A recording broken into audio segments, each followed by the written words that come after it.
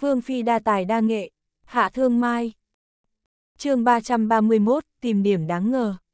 Tiêu kiêu nén giận, lạnh như băng nói, nếu như còn muốn giữ danh nghĩa phu nhân đại tướng quân của ngươi, còn muốn hưởng cuộc sống vinh hoa thêm một thời gian thì thu liễm lại một chút cho ta, tất cả những thứ ngươi có hôm nay đều là đi cướp về, là một tên trộm thì nên cục cái đuôi lại mà đối nhân xử thế, ngươi còn dám đi trêu chọc nàng nữa. Không biết sống chết. Nói xong, tiêu kiêu lạnh lùng mà đi. Thương Mai cuối cùng cũng hiểu rõ cuộc hôn nhân này trước giờ chỉ là một cuộc giao dịch, nhưng tại sao lại là giao dịch? Giao dịch cái gì? Là ai chủ trì cuộc giao dịch này? Hàn Thanh Thu vừa đau lòng vừa bi phẫn, chạy theo sau lưng tiêu kiêu thê lương gào thét, ngươi sẽ phải hối hận. Nàng ta đứng lên, ngăn Thương Mai đang muốn đi lại, lạnh lùng thốt ra, ngươi trở về chuyển lời cho mộ dung tráng tráng, bảo nàng ta biết liêm sỉ một chút, đừng gặp phu quân của ta nữa. Thương Mai còn chưa lên tiếng, mộ dung khanh đã lạnh lùng xen vào, ngươi không dám nói với nàng ta à. Vậy được rồi, bản vương sẽ đích thân truyền lại giúp ngươi đồng thời cũng truyền lại cho tất cả ám vệ của phủ công chúa nghe. Hàn Thanh Thu không ngờ ngay cả nhiếp chính vương cũng tự mình cảnh cáo nàng ta, sắc mặt nàng ta trắng bệch, im lặng không dám nói gì. Thương Mai nói, đi thôi. Mộ Dung Khanh nắm tay cô đi ra ngoài, nhìn quản gia một chút, biết vì sao đại tướng quân nhà ngươi không muốn về nhà không? Chính là vì có nàng ta đấy.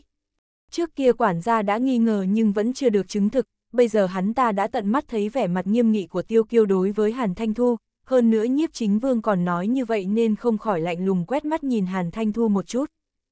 Lòng Hàn Thanh Thu run lên, mặc dù nàng ta là phu nhân đại tướng quân nhưng tất cả thu nhập và chi tiêu trong phủ đều do quản gia quản lý, nàng ta muốn tiêu tiền còn phải hỏi quản gia, hơn nữa phủ đại tướng quân và phủ tĩnh quốc hầu vẫn chưa phân phủ, sổ sách vẫn cần phải đưa qua đại gia tộc bên kia, đây là dặn dò của tiêu kiêu từ trước. Những năm qua, mặc dù nàng ta là phu nhân đại tướng quân, không cần lo bạc, nhưng cũng chỉ vẻn vẹn đủ chi tiêu chứ không tích lũy được cái gì. Ra đến cổng, tiêu kiêu sớm không biết đã đi nơi nào. Hai người lên xe ngựa, Thương Mai hỏi mộ dung khanh, vừa rồi lúc người bảo là sẽ thông báo cho ám vệ của phủ công chúa, dường như nàng ta rất sợ hãi. Mộ dung khanh nói, đương nhiên là nàng ta sợ hãi rồi, nàng ta biết rõ thủ đoạn tra tấn người của ám vệ của phủ công chúa mà, những ám vệ kia đều do Thái Hoàng Thái Hậu trước khi đi sắp xếp ở bên cạnh tráng tráng nhằm âm thầm bảo vệ cho nàng, nếu như hôm nay nàng ta dám mở miệng ác ngôn ở trước mặt tráng tráng thì nàng ta sớm đã bị cắt mất đầu lưỡi rồi. Thương Mai nói, khó trách. Mộ Dung Khanh nói, nàng nghĩ mãi mà không rõ dụng ý hôm nay của nàng ta sao. Thương Mai lắc đầu, người biết không? Audio điện tử võ tấn bền. Mộ Dung Khanh thản nhiên nói, hai ngày nữa thái tử của Lương Quốc sẽ đến Kinh Thành, hắn ta sẽ cầu hôn tráng tráng lần nữa, hôm nay nàng ta làm như vậy là muốn tráng tráng hết hy vọng, tự nguyện rời khỏi đất nước gả cho thái tử Lương Quốc. Thương Mai giận dữ, tâm tư thật ác độc. Tâm tư của nàng ta ác độc, nhưng tin tức thái tử Lương Quốc sẽ cầu hôn không có nhiều người biết, vì sao nàng ta lại biết? Mộ Dung Khanh hỏi.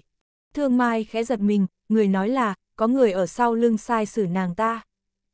Sai xử cũng không đúng, là lợi dụng, mộ dung khanh nói. Thương Mai suy nghĩ một chút, sẽ là ai đây? Ai muốn tráng tráng gả cho Thái tử Lương Quốc? Mộ dung khanh cười cười, Thái tử Lương Quốc. Nhưng hắn ta còn chưa tới kinh thành mà, người nói là, có người cấu kết với Thái tử Lương Quốc.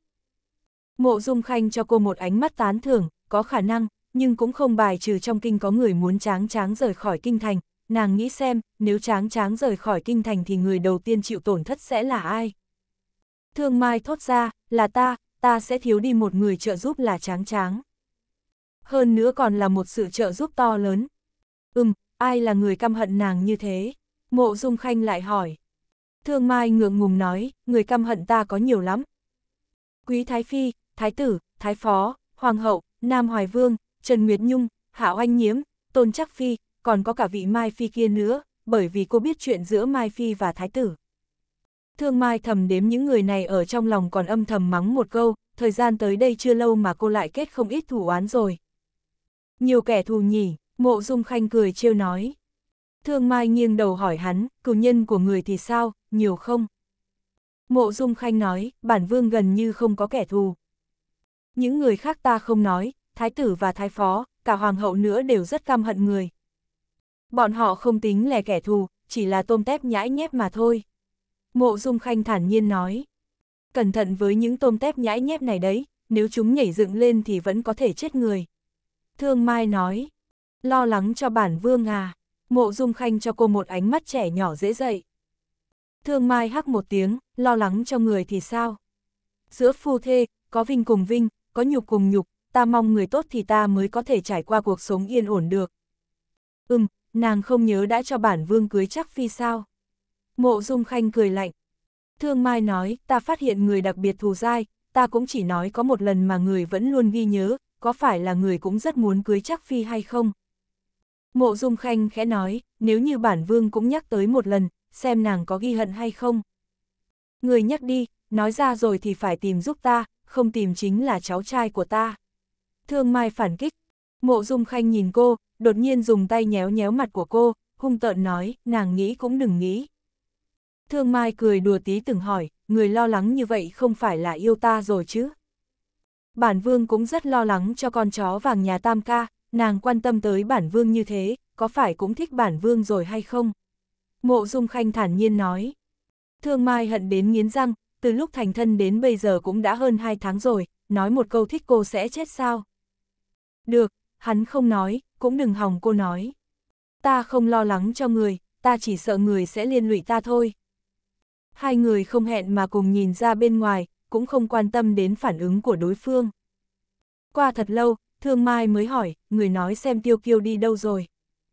Mộ Dung Khanh nói, tới nấp ở gần cổng của phủ công chúa thôi, còn có thể đi đâu được. Hắn ta luôn tới cổng phủ công chúa sao? Thật ra trong lòng hắn ta rất yêu tráng tráng, rốt cuộc năm đó đã xảy ra chuyện gì vậy? Mộ Dung Khanh có chút muốn nói lại thôi, cuối cùng vẫn nói là không biết. Thương Mai nhìn sắc mặt hắn, có phải người biết cái gì hay không? Mộ Dung Khanh lắc đầu, không biết, chỉ là trong lòng nghi ngờ một số chuyện, có điều cũng không chứng thực được. Nghi ngờ cái gì, nói cho ta nghe một chút, có lẽ người cũng nghi ngờ giống ta thì sao? Mộ Dung Khanh nhìn cô, nàng nói trước đi xem nàng nghi ngờ cái gì. Thương Mai nói, hôm nay Tráng Tráng đã nói với ta chuyện của bọn họ, vào ngày sinh nhật 16 tuổi của nàng Tiêu Kiêu nói muốn tới cầu hôn, quả thực ngày đó hắn ta cũng tới gặp Hoàng thượng nhưng cuối cùng hắn ta lại không tới gặp Tráng Tráng mà lại trực tiếp xuất cung. Ngày hôm sau thì nữ giao chỉ của Tráng Tráng và Hàn Thanh Thu đi nghe ngóng tin tức sau đó xuất cung đi tìm Tiêu Kiêu, giao chỉ chết ở ngoài cung còn Hàn Thanh Thu và Tiêu Kiêu không biết đã xảy ra chuyện gì. Đến ngày thứ tư, Hàn Thanh Thu trở về nói với Tráng Tráng chuyện của nàng ta và Tiêu Kiêu, Tiêu Kiêu cũng vào cung nói với Hoàng thượng hắn ta muốn cưới Hàn Thanh Thu, Hoàng đế tức giận đánh cho hắn ta một trận, tĩnh quốc công tới cầu xin Hoàng Thái Hậu nhưng Hoàng Thái Hậu chỉ cười. Đối với nội tình của việc này ta có hai điều nghi vấn, thứ nhất là lúc Tiêu Kiêu đi tìm Hoàng thượng cầu hôn, Hoàng thượng có đồng ý hay không? Nếu đồng ý thì chắc chắn hắn ta sẽ tới tìm tráng tráng ngay lập tức, nếu không đồng ý, vậy vì sao Hoàng thượng lại không đồng ý? Ừm, điều nghi ngờ thứ hai thì sao? Mộ Dung Khanh hỏi. chương 332, hỏi Hàn Thanh Thu. Thương Mai tiếp tục nói, điều nghi ngờ thứ hai đó chính là vì sao Hoàng Thái Hậu lại tứ hôn cho bọn họ. Dựa theo những lời tráng tráng nói trước đó thì Hoàng Thái Hậu vô cùng yêu thương cô em chồng tráng tráng này, khi bà ta biết tiêu kiêu phản bội tráng tráng để cưới thị nữ của tráng tráng, bà ta không hề tức giận mà ngược lại còn đồng ý, chuyện này không quái gì sao. Mộ Dung Khanh ừ một tiếng, căn cứ vào hai điều nghi vấn này thì nàng nghi ngờ cái gì? Hoặc là nói, nàng suy đoán ra cái gì? Thương Mai ngừng lại, cô nhìn Mộ Dung Khanh không biết nên nói hay là không nên nói. Mộ Dung Khanh nhìn ra cô đang lo lắng, chỉ có hai người chúng ta ở đây, nàng cứ nói thẳng đi. Thương Mai nói, được, đã như vậy, ta liền nói thẳng, ta nghi ngờ lần đầu tiên tiêu kiêu tới cầu hôn với Hoàng thượng, Hoàng thượng đã không đồng ý. Nhưng nàng cũng đừng quên là Hoàng thượng đã từ chối hôn sự của Tráng Tráng và Thái tử Lương Quốc, nếu như ông ta không đồng ý cũng không cần thiết phải làm như vậy, trực tiếp để Tráng Tráng gả cho Thái tử Lương Quốc là xong, phải biết là bởi vì chuyện từ chối hôn sự này mà hai nước đã huyên náo một trận rất lớn.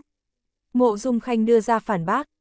Thương Mai suy nghĩ một chút, cũng đúng, nếu như Hoàng thượng không đồng ý thì thật sự cũng không cần phải từ chối hôn sự với Lương Quốc. Cô nhìn hắn, chẳng lẽ là Hoàng Thái Hậu? Mộ Dung Khanh nói, nếu là Hoàng Thái Hậu thì bà ta hoàn toàn không cần tuyên đọc di chỉ của Huệ Đế ở ngay trước triều thần. Thương Mai cũng cảm thấy có đạo lý, vắt óc suy nghĩ một lúc nhưng vẫn không tìm ra đáp án khiến trong lòng cô cảm thấy rất khó chịu. Xem ra nếu muốn biết chân tướng chuyện này thì phải đi hỏi Tiêu Kiêu rồi. Thương Mai chán nản nói. Chắc chắn là Tiêu Kiêu sẽ không nói, nếu như hắn ta nói thì đã không cần tránh đi nhiều năm như vậy. Mộ Dung Khanh nói, Thương Mai buông tay, vậy bế tắc này cứ để mãi như vậy sao? Đến ngày tráng tráng chết đi cũng không thể nào biết rõ được chuyện này. Với sự đau khổ hiện tại của tráng tráng, có lẽ Hàn Thanh Thu thật sự đã đạt được quỷ kế của mình, muốn nàng ấy gả cho một người mình không thích không phải còn đau khổ hơn so với giết nàng ấy sao? Mộ Dung Khanh đột nhiên ngẩng đầu lên, ánh mắt óng ánh mà nhìn cô, nàng nói cái gì? Nói lại lần nữa xem. Thương Mai nghi ngờ nhìn hắn, bế tắc này cứ để mãi như vậy sao? Đến ngày tráng chán chết đi cũng không thể nào biết rõ được chuyện này. Không phải câu này, mộ dung khanh nói. Thương Mai suy nghĩ một chút, suýt chút nữa đã quên mất mình vừa mới nói cái gì. Nàng nói có thể Hàn Thanh Thu đã đạt được quỷ kế của mình, nói để tráng tráng gả cho người mình không thích còn đau khổ hơn so với giết nàng, nàng nghĩ như vậy à? Mộ dung khanh nhíu mày hỏi cô. Thương Mai cho rằng hắn đang chất vấn mình, liền cất cao giọng nói chẳng lẽ không đúng sao? Tráng tráng sẽ rất khó chịu mà, cả đời phải ở cùng một người mình không thích. Đột nhiên mộ dung khanh mặt mày hớn hở, ừm, hiểu rồi. Thương Mai khó hiểu nhìn hắn, hiểu cái gì? Nàng thích bản vương, mộ dung khanh chắc chắn nói. Thương Mai suýt chút nữa đã phun ra một ngụm máu tươi, ta nói như vậy lúc nào? Hơn nữa vừa rồi không phải đang nói chuyện của tráng tráng sao? Sao lại liên lụy đến ta rồi? Tráng tráng chưa từng nói là gả cho một người mình không thích sẽ sống không bằng chết, hiển nhiên đây là suy nghĩ của nàng, nàng cho rằng gả cho người mình không thích nàng sẽ rất khó chịu, điều này có nghĩa là nàng thích bản vương, cho nên mới gả cho bản vương. Mộ Dung Khanh đắc y nói. Thương Mai trợn mắt một cái, bây giờ ta đang rất là khó chịu. Vô dụng thôi, hạ Thương Mai, bản vương biết nàng thích ta rồi. Mộ Dung Khanh cười vô cùng cổ quái, miệng cũng sắp ngoác ra đến mang tai. Thương Mai tức giận nói, ta đã không muốn nói cho người rồi, mà này, người nghĩ thế nào về chuyện của Tráng Tráng và Tiêu Kiêu? Ta biết người có ý tưởng, không ngại nói ra để mọi người cùng tham khảo một chút. Bản vương nghi ngờ Hoàng thượng, mộ dung khanh trực tiếp nói. Thương Mai khẽ giật mình, nhưng cái này không phải không đúng sao? Chính như người vừa nói là nếu Hoàng thượng muốn phản đối thì tại sao còn hủy bỏ hôn sự với Thái tử Lương Quốc? Sau khi hủy bỏ rồi còn phản đối Tráng Tráng và Tiêu Kiêu, cần gì phải vẽ vời thêm chuyện như vậy? Mộ Dung Khanh vuốt vuốt nhẫn ngọc trong tay, ánh sáng trong mắt từ từ ảm đạm xuống, có một chuyện nàng không để ý đến đó chính là di chỉ của Huệ đế đã được mẫu hậu tuyên đọc ngay trước triều thần, hoàng thượng có thể không tuân theo chiếu chỉ của Huệ đế sao? Ý chỉ của Huệ đế đã nói rõ, bất kỳ người nào cũng không được ép tráng tráng làm chuyện mà nàng không muốn làm, tráng tráng không muốn gả cho thái tử lương quốc cho nên cửa hôn sự này nhất định phải hủy bỏ thì ông ta mới có thể làm một người con có hiếu. Nhưng chuyện này không có nghĩa là ông ta sẽ gả tráng tráng cho tiêu kiêu. Vì sao vậy, ông ta đã có thể hủy hôn thì tại sao lại không thể để tráng tráng gả cho tiêu kiêu? Thương Mai rất là kinh ngạc, cô biết mộ dung khanh nói như vậy nhất định là có căn cứ, cũng biết năng lực phân tích sự việc của hắn rất mạnh. Mộ dung khanh nhìn cô, lúc đó hoàng thượng vừa mới đăng cơ, căn cơ chưa vững còn tính quốc hầu thì như mặt trời ban trưa, tiêu ra là quân đội, trong tay có binh quyền, nếu như tiêu kiêu lấy tráng tráng, điều này có ý nghĩa gì? Người nói là, Hoàng thượng không muốn tráng tráng gả cho tiêu kiêu là bởi vì sợ tiêu gia có được thân phận tương trợ cho đại công chúa tráng tráng, sẽ trực tiếp uy hiếp tới đế vị của ông ta. Bản vương cũng không rõ lắm, lúc xảy ra chuyện này bản vương mới 14 tuổi, chuyện trong triều cũng không biết nhiều, chỉ là sau khi xảy ra chuyện này tiêu kiêu nói năng rất thận trọng, bản vương suy nghĩ nhiều năm mới nghĩ tới chỗ này. Thương Mai nhớ tới trước kia hắn từng nói là không quá quan tâm tới chuyện của hai người này và cũng không muốn quan tâm, huống chi cũng không biết nhiều, thật ra đều là giả, hắn quan tâm, nếu không cũng sẽ không tiếp tục suy nghĩ tới chuyện này. Quả thực nếu như có người có thể khiến cho tiêu kiêu khuất phục, đại khái cũng chỉ có hoàng thượng. Nhưng vì sao lại dính dáng đến Hàn Thanh Thu, còn cả giao chỉ kia chết thế nào? Mộ Dung Khanh nói, không biết, giao chỉ chết ở sông Hộ Thành, không ai trông thấy nàng ta chết thế nào. Thương Mai không rõ, sông Hộ Thành không phải chỗ bí mật, lúc xảy ra vụ án hẳn là sẽ có người nhìn thấy, là ai điều tra vụ án này. Hoàng thượng trực tiếp mệnh lệnh cho hình bộ điều tra, là tráng tráng yêu cầu, thượng thư hình bộ tự mình chủ thẩm án này. Là thượng thư hình bộ hiện tại. Không, là tiền nhiệm, đã chết, là bệnh chết. Mộ Dung Khanh suy nghĩ một chút nhưng vẫn không nghĩ ra chỗ đáng ngờ nào, lúc ấy bản vương còn nhỏ tuổi, những chuyện này cũng không được rõ ràng lắm. Thương Mai cảm thấy chán nản, sau khi phân tích đến phân tích đi theo cách này thì gần như cũng không có manh mối rõ ràng, như lọt vào trong sương mù vậy. Hoàng thượng là người khả nghi nhất, nhưng Hàn Thanh Thu đã xảy ra chuyện gì nhỉ? Hoàng thượng cũng không đến mức sẽ giúp Hàn Thanh Thu chứ? Chẳng lẽ bí mật này thật sự sẽ được tiêu kiêu đưa vào trong quan tài ư? Thật sự là phiền muốn chết mà. Thương Mai tức giận nói. Mộ Dung Khanh nhìn cô, nàng muốn giúp bọn họ hợp lại hay đơn giản là chỉ muốn hiểu rõ chuyện này. Thương Mai nói, ta hy vọng tráng tráng vui vẻ.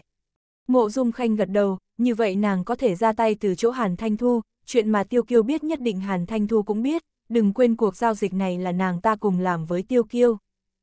Thương Mai tức giận nói, nhưng người cho rằng Hàn Thanh Thu sẽ nói sao? Đáy mắt mộ dung khanh hiện lên một tia giảo hoạt, nàng ta sẽ không nói với nàng, nhưng chắc chắn sẽ nói với một người. Ai, thương mai trừng to mắt. Sao chỉ? Thương mai chấn kinh, sao chỉ còn sống ư? chương 333, hung thủ. Mộ dung khanh chọc vào chán cô, Giao chỉ đã chết, nhưng nàng có thể biến nàng ta thành ma, xuất hiện trước mặt Hàn Thanh Thu, có lẽ có thể biết thêm những chuyện bên trong, chẳng hạn như cái chết của Giao Chỉ. Thương Mai đột nhiên hiểu ra, ô, ta hiểu rồi. Ta đi tìm cầm chi ngay lập tức, cầm chi đã ở bên Giao Chỉ nhiều năm như vậy, sẽ biết lời nói, động tác cũng như quần áo nàng ta thích mặc. Xe ngựa của vươn phủ lại lộc cộc chạy về phía phủ công chúa. Mộ dung khanh buông hai tay, nhìn xem đi, vương phi của hắn đối với ai cũng quan tâm, nhưng chỉ không quan tâm đến hắn. Đêm khuya, giờ tí. Cơn gió lạnh đầu đông xào xạc thổi những cành cây vốn trụi một nửa phát ra những tiếng u u. Tiếng quả kêu chói tai, trong đêm tĩnh mịch có vẻ đặc biệt bén nhọn thê lương, con quả này là Tô Thanh bắt được, người đang nửa bò sấp trên nóc nhà phủ đại tướng quân bóp lấy cổ của nó rồi buông tay, như vậy âm thanh phát ra mới ác liệt. Quả khóc ra máu, cất giọng thê thảm. Hàn Thanh Thu đã ngủ từ sớm, làm phu nhân đại tướng quân bao nhiêu năm, nàng đã quen với việc có người gác đêm, cho nên ngoài phòng, có một nha đầu ngồi chợp mắt. Bỗng có tiếng rầm làm nha đầu đó thức giấc, nàng dụi mắt nhìn xung quanh thì không thấy gì, nên cô đứng dậy cầm lấy chiếc đèn lồng trước hành lang và đi về hướng của âm thanh. Vừa đi chưa bao lâu, nàng lại nghe thấy tiếng mở cửa két, quay đầu lại đột nhiên phát hiện cửa đang khóa, nàng dùng mình một cái, nhỏ giọng nói, thật kỳ quái, chẳng lẽ do gió lớn sao? Quả thực gió rất mạnh, song cửa sổ vang lạch cạch, lá hỗn độn trên cành bay tung tóe. sau khi suy nghĩ xong, cô liền tìm thị vệ đang trực trong phủ đến đây tuần tra. Hàn Thanh Thu tối nay ngủ rất muộn, chuyện xảy ra hôm nay khiến cô hoang mang, trằn trọc không ngủ được, cô biết Tiêu Kiêu không có tình cảm với mình, nhưng nghĩ lại nhiều năm như vậy, ít nhất hắn cũng nên quên mộ dung tráng tráng rồi. Nàng có thể chấp nhận việc phu quân của mình không có nàng trong lòng, nhưng không thể chấp nhận rằng trong lòng hắn có người khác, và vẫn luôn có người khác. Chớ trêu thay, có vẻ hắn vẫn si mê nàng ta như 11 năm trước. Điều này có nghĩa là, 11 năm thanh xuân của nàng đã bị lãng phí một cách vô ích. Nhưng nàng cũng nguyện ý, nguyện ý làm như vậy, nàng chỉ muốn địa vị này, muốn vinh hoa phú quý, nhưng tại sao lại phải chịu sự sỉ nhục này? Nàng nguyện ý trở nên ti tiện thế này, hắn còn muốn nàng phải thế nào nữa? Vuốt ve má, nơi hắn đánh qua, vẫn còn đau kinh khủng, loại đau này, là đau thấu tâm can. Ngoài cửa gió rất lớn, có tiếng quả kêu, còn có tiếng động không rõ, nàng cáu kỉnh, gọi một tiếng, tiểu tinh. Nha hoàn không trả lời, một lúc sau lại gọi thêm một tiếng, nhưng vẫn không có người trả lời, nàng tức giận đứng dậy, chắc lại ngủ gật rồi, phế vật. Cánh cửa kêu kết một tiếng, như có một cơn gió thoảng qua. Nàng giật mình, sau đó tức giận nói, gọi ngươi mấy lần cũng không nghe thấy, còn tưởng rằng ngươi đã chết rồi. Nàng nghĩ đó là nha hoàn tiểu tinh bước vào. Đúng là có người bước vào, ánh trăng từ cửa sổ chiếu vào, không nhìn thấy trông như thế nào, chỉ thấy mái tóc bù xù che mất mặt của người đó. Quần áo của nàng ướt sũng, nước chảy tí tách. Nàng sừng sốt, ngươi. Tam tỷ, tỷ còn nhớ muội không? Người đó nhàn nhạt nói, giọng nói như bị cái gì đó chặn lại, giọng vừa trầm vừa khàn. Khi Hàn Thanh Thu nghe tiếng gọi tam tỷ, toàn thân liền phát run. Tứ đại nha hoàn xung quanh công chúa khi đó, nàng đứng thứ ba, chỉ có giao chỉ nhỏ nhất gọi nàng là tam tỷ, cầm chi và Quỳnh Hoa đều gọi nàng là tam muội. Ngươi, nàng lùi về phía sau, suýt chút nữa ngất xỉu, ngươi là ai? Là ai đang giả thần giả quỷ? Tam tỷ, mới có 11 năm, mà ngươi đã không nhận ra ta sao? Bóng người dần dần tới gần, ánh sáng chiếu vào, Hàn Thanh Thu nhìn thấy bộ quần áo liền đột nhiên hét lên, có ma. Bộ quần áo đó, nàng còn nhớ, là bộ quần áo mà Giao chỉ đã mặc khi rơi xuống nước. Giao chỉ phát ra tiếng cười âm trầm, tam tỷ sợ ta sao? Nếu sợ ta vậy tại sao phải đối xử với ta như vậy?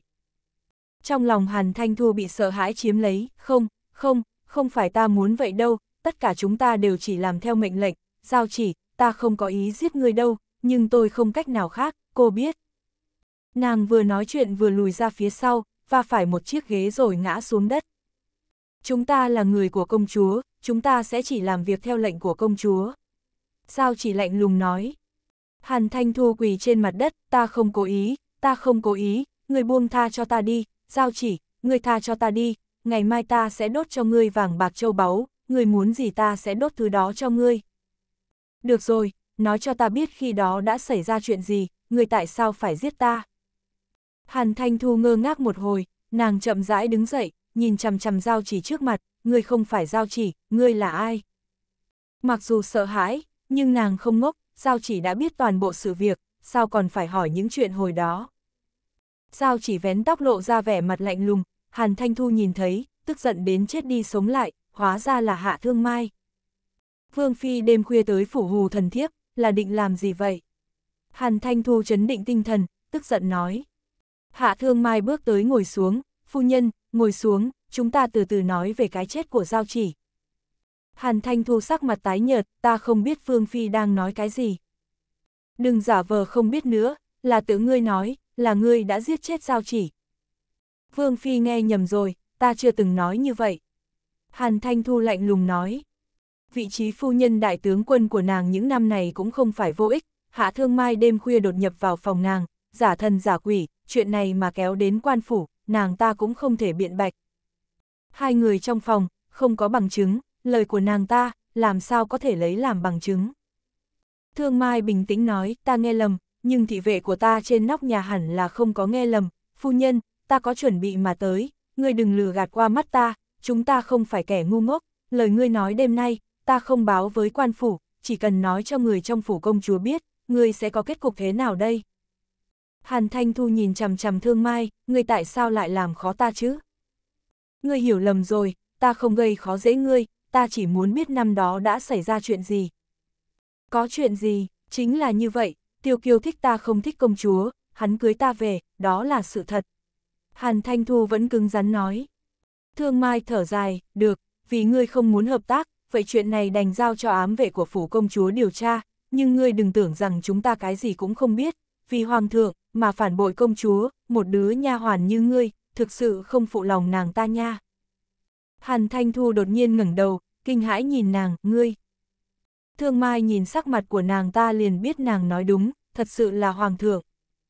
Thương Mai thất vọng, không ngờ hoàng thượng lại là người như vậy. Đau lòng thay cho tráng tráng, luôn cho rằng hoàng thượng đối xử với nàng không tệ, rất hiếu kính người cô nhỏ ngày. Nếu tráng tráng biết rằng hoàng thượng là thủ phạm đứng sau tất cả kế hoạch này, khiến nàng sống trong đau khổ suốt 11 năm, nàng sẽ thế nào? Có thể chịu được không? chương 334, giả thần giả quỷ. Thương Mai nhìn Hàn Thanh Thu, nói đi, nói cho ta những gì ngươi biết, về phần cái chết của giao chỉ, ta sẽ không hỏi nữa, cũng không nói cho người trong phủ công chúa. Hàn Thanh Thu không tin nàng, ngươi sẽ giữ lời hứa chứ.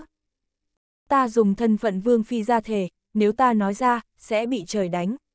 Thương Mai nói, nàng không nói, không có nghĩa là Tô Thanh tướng quân trên đầu sẽ không nói. Nhưng Hàn Thanh Thu không biết đó là Tô Thanh, chỉ nghĩ đó là thị vệ của nàng, nếu nàng thề rằng không nói, thị vệ là người của nàng, như vậy tự nhiên cũng sẽ không nói ra. Nàng chán nản ngồi xuống nói, đúng vậy, là hoàng thượng, không liên quan gì đến ta. Nàng thắp một ngọn đèn, ánh sáng đó chiếu sáng mọi thứ trong nhà, vô cùng xa hoa, ngay cả chiếc ghế đầu nhỏ dưới chân cũng được làm bằng gỗ tử đàn. Nàng liếc nhìn xung quanh, biết rằng có lẽ mọi chuyện sắp kết thúc rồi. Vào ngày sinh nhật lần thứ 16 của công chúa, Tiêu Kiêu vào cung thỉnh chỉ, để xin lấy công chúa, công chúa đã đợi hắn đến, nhưng nàng đợi mãi không được, đêm đó công chúa không ngủ. Ngày hôm sau, Giao chỉ đề xuất đi tìm Tiêu Kiêu để hỏi cho ra lẽ, ta đề nghị đi đến ngự thư phòng nghe ngóng trước. Bọn ta đến ngự thư phòng hỏi Lộ Công Công, người hầu cận của Hoàng thượng, Lộ Công Công không nói, nhưng Hoàng thượng đã triệu ta vào, Hoàng thượng hỏi công chúa có phải đã yêu Tiêu Kiêu rất sâu đậm hay không, ta nói thẳng rằng công chúa không phải là tiêu kiêu thì sẽ không gả. Thương Mai nhìn nàng, vẻ mặt tái nhợt, có vẻ lời nói hiện tại không phải là nói dối. Nghe xong lời này, Hoàng thượng im lặng hồi lâu, sau đó ngẩng đầu nhìn ta, hỏi ta có muốn làm thiếu phu nhân của tính quốc hầu phủ không? Ngươi nói muốn, vinh hoa phú quý, ai không muốn? Thương Mai sắc bén hỏi. Nàng bắt đầu cười khổ, tại sao ta lại không muốn chứ? Nhưng không phải chỉ vì vinh hoa phú quý, ta vẫn luôn thích tiêu kiêu, nhưng tiêu kiêu chưa bao giờ nhìn ta một lần. Trong lòng hắn chỉ có công chúa, tôi dự định sẽ giấu cảm xúc này đến hết đời, nhưng người biết gì không? Ta đột nhiên có cơ hội này, ta sẽ trở thành phu nhân của hắn, trở thành thiếu phu nhân của tính quốc hầu phủ. Cả cuộc đời của ta, có lẽ chỉ có một cơ hội này có thể thay đổi cuộc đời thôi, đương nhiên ta muốn nắm lấy nó, dù mọi người đều cho rằng ta đê tiện, tại sao ta phải quan tâm đến ý kiến của người khác. Người có biết tổ tiên của ta cũng từng hiển hách có tiếng, nhưng sau này ra cảnh xa sút ta không thể không bị tống vào cung làm nô tỳ. Tuy ta xuất thân không bằng công chúa, nhưng không phải chỉ là một nô tỳ. Hàn Thanh Thu nói đến rất thê thảm, trên mặt tràn đầy bất bình và oán hận. Thực ra, chuyện xa sút của gia đình đã là chuyện của thế hệ cha nàng rồi, trước khi nàng ra đời nhà đã rất nghèo rồi. Thương Mai hờ hững nói, tổ tiên của ngươi hiển hách, đó là việc của gia tộc ngươi, không thể nói vì gia cảnh ngươi xa sút liền hãm hại vị chủ tử đối với ngươi tốt như vậy, công chúa đối với ngươi không tệ. Đúng vậy, nàng ấy cũng cho phép ta giữ họ của mình, trong bốn thị nữ, chỉ có Hàn Thanh Thu ta là người duy nhất có thể giữ họ. Nhưng như vậy thì sao? Ta vẫn là một nô tỳ, sau này công chúa có sủng ái thế nào, cho ta gả đi, nhưng cùng lắm là gả cho cận vệ, trời đã định, ta có thể thay đổi vận mệnh, đổi thành ngươi, ngươi sẽ làm gì? Thương Mai hờ hững nói, ít nhất ta sẽ không phản bội người tốt với ta. Đừng áp đặt nguyên tắc sống của mình cho tất cả, người đáng thương, nhưng không có nghĩa là ngươi phải làm chuyện đáng giận. Đúng vậy, tiểu thư danh môn vọng tộc các ngươi, luôn luôn cao cao tại thượng, XM thường đám nô tỳ hèn mọn như bọn ta, cho nên ta muốn được làm phu nhân, trên người khác, được ở bên người đàn ông mình thích. Hoàng thượng đã cho ta một lọ thuốc, bày kế cho ta, muốn ta gạo nấu thành cơm với tiêu kiêu, nhưng lọ thuốc chỉ khiến tiêu kiêu ngủ thiếp đi, chuyện không thành, hắn nhốt ta trong tính quốc hầu phủ một ngày đêm, sau đó nhập cung diện thánh, sau khi rời cung, ngày hôm sau mới thả ta ra, ta liền làm theo chỉ thị của Hoàng thượng, quay trở lại cung để thông báo cho công chúa rằng tiêu kiêu muốn thành thân với ta, bọn ta đã có làm chuyện phu thê rồi. Thương Mai lạnh lùng nói, vậy còn Giao chỉ, Giao chỉ chết như thế nào? Hàn Thanh Thu đột nhiên khóc, che mặt đau khổ khóc, ta thực xin lỗi Giao chỉ, nếu nói ta phải hổ thẹn với ai thì chỉ có Giao chỉ là người duy nhất. Sau khi được Hoàng thượng chỉ thị, ta đã rất lưỡng lự, lúc xuất cung ta đã nói với Giao chỉ khi tôi còn ở trong đó, Giao chỉ luôn đối xử với ta rất tốt, rất tôn trọng ta. Ta nghĩ nàng ấy sẽ ủng hộ quyết định của ta, vì ta đã nói với nàng ấy rằng chỉ cần ta trở thành phu nhân, nhất định sẽ đưa nàng ra khỏi cung đi hưởng phúc, tìm thật nhiều nha hoàn hầu hạ cho nàng, nhưng nàng nói sẽ không rời hoàng cung, không rời khỏi công chúa, còn sẽ trở về nói với công chúa. Ta thật không cố ý đẩy nàng ấy xuống đó, bọn ta nói chuyện cạnh thành hào, sau đó cãi nhau, xô đẩy một hồi. Ta chỉ là vô tình. Thương Mai nhìn nàng khóc sướt mướt, nhưng trên mặt lại không có một tia hối hận. Thương Mai từng học qua tâm lý, nàng nhìn thoáng liền biết cái gọi là sự xấu hổ của Hàn Thanh Thu đối với giao chỉ, chỉ được sử dụng để tự thuyết phục rằng, miễn là nàng cảm thấy có lỗi, thì vẫn là một người tốt, và mọi thứ đều chỉ là bất đắc dĩ. Có thể nhớ lại cảnh đó, một người có ý muốn phản bội công chúa, người kia quyết tâm quay về nói với công chúa. Nếu khi đó nàng thực sự do dự có nên phản bội hay không, không thể sau khi Giao chỉ phản đối lại kiên định ý muốn được, bởi vì, như nàng đã nói, Giao chỉ có mối quan hệ rất tốt với nàng ấy, những điều trái với lương tâm của mình, nàng đáng lẽ nên nghe lời khuyên của Giao chỉ. Rõ ràng là nàng đã không làm vậy, thay vào đó, là đã vô tình đẩy Giao chỉ xuống hào. Tiêu Kiêu biết Giao chỉ chết như thế nào không? Thương Mai hỏi. Hắn đã nghi ngờ rồi, nhưng lúc đó tinh thần hắn gần như sụp đổ, có lẽ cũng không còn tâm trí mà nghĩ tới. Hàn Thanh Thu chế nhạo, đối với công chúa, hắn thật sự có thể không cần gì cả, ngay cả gia tộc hắn cũng muốn từ bỏ, người như vậy, ta cũng có thể yêu, ta thật sự là mù quáng. Nếu hắn vì ngươi mà làm chuyện này, ngươi có lẽ sẽ cảm động đến chết đi sống lại, nhưng cho dù không phải vì ngươi, không phải ngươi vẫn là bám theo sao. Tại sao nói như thể mình thanh cao lắm vậy? Hạ thương mai lạnh lùng nói. Lông mày hàn thanh thu trao lại vì tức giận, ta đã nói hết những gì ta biết, ngươi có thể đi. Tử An lắc đầu, Hoàng thượng tại sao lại làm chuyện này? Tại sao lại phá hoại tráng tráng và tiêu kiêu? Hàn Thanh Thu lạnh lùng nói, làm sao ta biết được? Ta chỉ làm theo mệnh lệnh, ta cũng rất bất lực, người cho rằng những năm này ta sống rất hạnh phúc sao? Từ khi tiêu kiêu và ta thành hôn, hắn đều ra ngoài chinh chiến, chiến sự kết thúc, hắn thà chịu gió cắt ở biên cương cũng không muốn quay lại thủ đô, coi ta như người chết. Hừ, lần này ai kêu ngươi tới phủ công chúa nói cho công chúa biết ngươi đang mang thai. Hạ thương mai nhẹ giọng hỏi.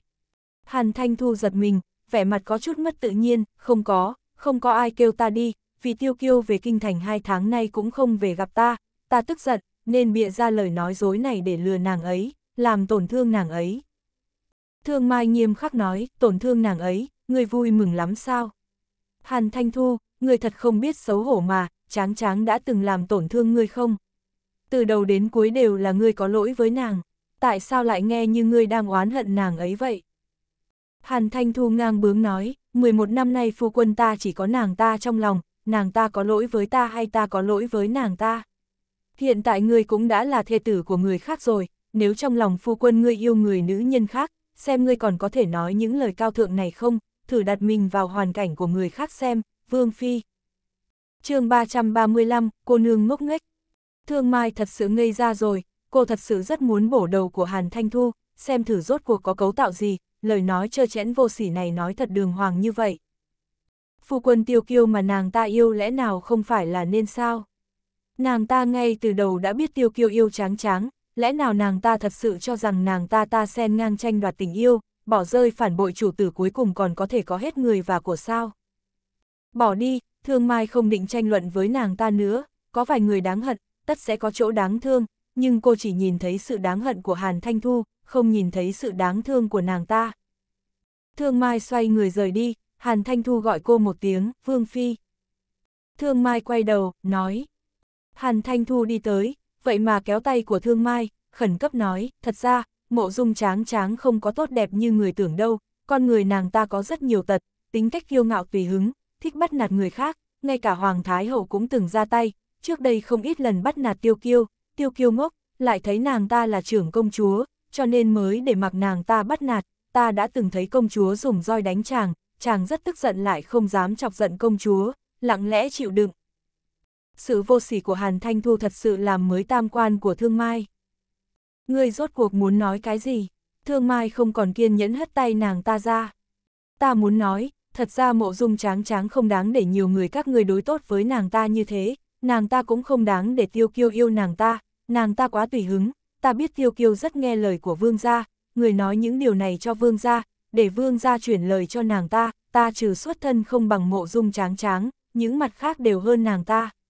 Hàn Thanh Thu nói, thương mai lắc đầu, vô cùng lạnh lùng, Hàn Thanh Thu, tráng tráng có tùy hứng hơn nữa, kiêu ngạo hơn nữa, nàng ta chưa từng tổn hại bất kỳ ai, nàng ta bắt nạt tiêu kiêu, tiêu kiêu cam tâm tình nguyện thậm chí là muốn, nàng ta dở trò với Hoàng Thái Hậu, tuy chơi khăm nhưng không ảnh hưởng đến đại thể. Nhưng ngươi thì sao, ngươi đã làm cái gì? Nghĩ thử đi, nói thật, ta tối nay thật sự rất muốn đánh ngươi, ngươi đã khiến ta cảm thấy vô cùng buồn nôn, nhưng, ta không động thủ, ta sợ bẩn tay của mình. Nói xong, phất tay áo rời đi. Hàn Thanh Thu ngồi sụp trên ghế, lẩm bẩm, không, mọi chuyện đều là bất đắc dĩ, ta không muốn giết giao chỉ, ta cũng không muốn phản bội công chủ, ta là bị ép, tại sao không có ai hiểu cho ta chứ? Trong lòng nàng ta rất sợ hãi, chuyện này sau khi nói ra, bèn tổn hại đến danh tiếng của Hoàng thượng, nếu Hoàng thượng tỉnh lại nhất định cũng không tha cho nàng ta, hiện nay chỉ có thể hy vọng cả đời này Hoàng thượng cũng đừng tỉnh lại, không thể truy cứu. Sau khi Thương Mai rời khỏi, Tô Thanh đã đánh xe ngựa đợi ở bên ngoài, Mộ Dung Khanh cũng ngồi trên xe ngựa, lão nhân ra hắn luôn mặc kệ những chuyện này, nhưng lần này rất phối hợp với Thương Mai, trong lòng Thương Mai biết hắn là lo cho tráng tráng. Tô Thanh đã nói nguyên nhân cái chết của Giao chỉ cho Mộ Dung Khanh, đoạn đối thoại của Thương Mai và Hàn Thanh Thu cũng nói rồi, sau khi Thương Mai lên xe ngựa, Mộ Dung Khanh nhàn nhạt nói, Tô Thanh, chuyện này, tạm thời không thể nói với bất kỳ ai, tiêu thác cũng không thể nói, hắn quá bốc đồng. Tô Thanh gật đầu, vâng, ta biết. Sự việc liên quan đến Hoàng thượng, hắn ta tự nhiên sẽ không nói. Thương Mai rất tức giận, không ngờ thật sự là Hoàng thượng, tráng tráng sau khi biết, sợ là không chấp nhận được. Mộ Dung Khanh cũng rất thất vọng, tuy hắn sớm đã đoán được rồi, nhưng, một ngày chưa chứng thực, trong lòng trung quy giữ hy vọng tốt đẹp. Ở trong lòng hắn, Hoàng Huynh không phải người như thế. Hắn biết tiêu kiêu yêu tráng tráng, khiến tiêu kiêu từ bỏ, Hoàng thượng nhất định là dùng cái gì đó để kìm hắn ta rồi, hơn nữa lúc đó ngay cả tính quốc hầu cũng ra mặt rồi, sự tình nhất định không đơn giản. Sau lưng còn dính líu cái gì, không thể đoán được. Thương Mai vốn muốn nói chút gì đó, nhìn thấy thần sắc của mộ dung khanh có hơi không tốt, cô bỗng ý thức đến, chuyện này không phải là một loại đả kích với hắn chứ. Hắn luôn rất kính trọng hoàng huynh của hắn. Cô nắm tay của hắn, mười ngón đan vào nhau nhưng cái gì cũng không nói. Mộ dung khanh khẽ dựa đầu vào gối mềm sau lưng, nếu chuyện này công khai, nhất định sẽ ảnh hưởng danh dự của hoàng thượng. Người có dự định gì không? Thương Mai khẽ hỏi. Bên tráng tráng vẫn là nói với nàng một chút, ít nhất để nàng biết, tiêu kiêu không phải không yêu nàng, chỉ là bất đắc dĩ. Bản vương tin nàng có thể chấp nhận được chuyện này, nó sẽ hiểu cuộc đời có rất nhiều chuyện cho dù ngươi không muốn chấp nhận, cuối cùng vẫn phải chấp nhận. Thương Mai mặc nhiên gật đầu, phải, tuổi của tráng tráng không nhỏ nữa, những gì nàng ta từng trải cũng rất phong phú, chắc có thể chấp nhận chuyện này. Chỉ là, thế giới này sao lại như thế? Chuyện của hoàng gia một khi vạch ra một góc liền khiến người ta cảm thấy vô cùng tàn khốc. Tráng tráng có lẽ có thể chịu đựng, dù sao, năm đó nàng ta đã chịu đựng nhiều như vậy, người mình yêu nhất lấy thị nữ mà nàng ta tin tưởng nhất, nàng ta đều có thể chịu được, có gì không chịu đựng được nữa. Nhưng cũng không phải nói nàng ta có thể chịu đựng được, có thể không kiêng kỵ mà tổn thương nàng ta. Chẳng qua cũng chỉ là một nữ nhân, một nữ nhân không cha không mẹ. Thương Mai đau lòng cho tráng tráng, rất đau lòng. Ngày hôm sau, cô bèn đi tìm tráng tráng, nói lại những lời mà Hàn Thanh Thu đã nói cho tráng tráng. Sau khi tráng tráng nghe rồi, luôn không nói chuyện. Hồi lâu, hồi lâu, nàng ta mới ngẩng đầu, bỗng mỉm cười thê lương, chuyện này bảo lão thất giữ bí mật, ai cũng không cho phép nói. Tráng tráng, chuyện này nếu như nói ra, mọi người đều sẽ giúp người, người có gì chỉ của Huệ đế, không ai có thể cưỡng ép ngươi làm chuyện gì ngươi không bằng lòng, Hoàng thượng mượn thánh chỉ, đã tổn thương người. Tráng tráng ngẩng đầu, cắt ngang lời của cô, không, không cần nói, ta biết là được, chuyện này nói ra, tổn hại danh tiếng của hắn, không có cần thiết như vậy. Thương Mai rất buồn, người còn nghĩ cho hắn, hắn đều đã đối với người như thế rồi. Tráng tráng khẽ thở dài, tới nhớ, năm đó hoàng tổ mẫu trước khi rời cung, đã nói với ta rất nhiều, lúc đó ta ít tuổi, không biết ý tứ trong những lời đó của bà, hiện nay thì hiểu rồi. Bà nói với ta, tráng tráng à, cháu thân là con gái của hoàng gia, cháu đã hưởng thụ vinh hoa phú quý mà người khác không được hưởng thụ, như thế cháu có khả năng sẽ mất đi một vài thứ khác, cuộc đời không có hoàn mỹ không khuyết điểm, cháu phải học chấp nhận và mất đi, học chấp nhận sự tàn khốc, học chấp nhận cuộc đời có nhiều sự bất lực, cháu xuất thân tốt hơn người ta, nhưng không đại biểu ông trời sẽ chiếu cố cháu cuộc đời của cháu mãi. Còn nữa, hoàng gia trước nay đều trung thành với quyền lực, cháu ở trong đó, sau này có lẽ sẽ bị người ta lợi dụng, có lẽ sẽ bị người ta tổn thương, có lẽ sẽ bị người ta hung hăng xiên một đao, mà người làm những điều này, cũng có lẽ là người cháu thân nhất yêu nhất, nếu như những chuyện này xảy ra trên người cháu, cháu suy nghĩ lại xem, người tổn thương cháu, hắn có thành tích chính trị không, hắn có tốt với bách không, có thể tạo phúc không, nếu như có thể, sự mất mát này cháu liền nhận đi, bởi vì cháu là con gái của hoàng gia. Thương Mai xứng người, Thái Hoàng Thái Hậu trước đây từng nói như vậy với người. Trừ phi bà ấy đã dự đoán ngày sau Hoàng thượng sẽ tổn thương người. Thái Hoàng Thái Hậu tinh thông y lý tinh tượng, quẻ bà bói chưa từng sai, có lẽ rất nhiều chuyện sớm đã định sẵn rồi. Tráng tráng thở phào, nhìn sang Thương Mai, thật ra, người nói với ta nhưng điều này, ta sớm đã nghĩ tới, chỉ là luôn tự lừa mình dối người, Hoàng thượng trước khi ngã bệnh, đều luôn đối với ta đặc biệt tốt, kiểu tốt này, có chút tính chất bù đắp, ta có thể nhìn ra. chương 336, ta muốn gặp Hoàng thượng. Thương Mai khẽ thở dài, ủy khuất người rồi. Tráng tráng lắc đầu, người nếu như bị người khác tổn thương, còn tính là ủy khuất, nhưng người nhà của ngươi tính kế ngươi, ủy khuất cái gì chứ? Ai kêu ta nhận đại ân của hoàng gia, ai kêu ta hưởng thụ phú quý ngập trời, đây đều là những thứ ta nên chịu.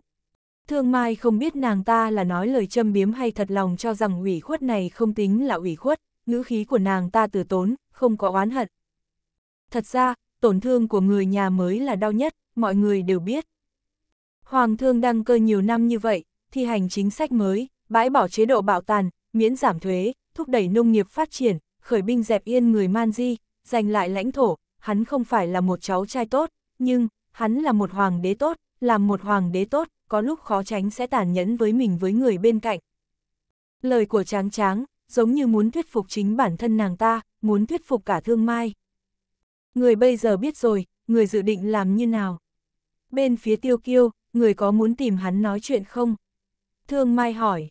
Tráng tráng suy nghĩ một lát, ta không biết, đầu óc có hơi rối loạn, người cho ta suy nghĩ vài ngày. Thương mai nắm tay của nàng ta, được, người từ từ suy nghĩ, nếu cần ta thì tìm ta. Tráng tráng nhìn cô, cảm ơn. Nói cảm ơn thì xa lạ quá rồi. Tráng tráng mỉm cười, mặt mày trắng bệch gần như trong suốt có một loại yên lặng nói không ra lời. Sau khi thương mai đi rồi, tráng tráng vào trong phòng, ngồi rất lâu rất lâu, sau đó chuyển cầm chi vào, những năm này, đồ mà hoàng thượng ban thưởng cho ta, có cái gì? Cầm chi nói, nhiều lắm, bỗng hỏi cái này làm cái gì? Khi thương mai nói chuyện với tráng tráng, cầm chi không ở bên cạnh, cho nên, không biết thương mai và tráng tráng nói cái gì. Người đi xem kỹ lại, xem có cái gì. Tráng tráng nói.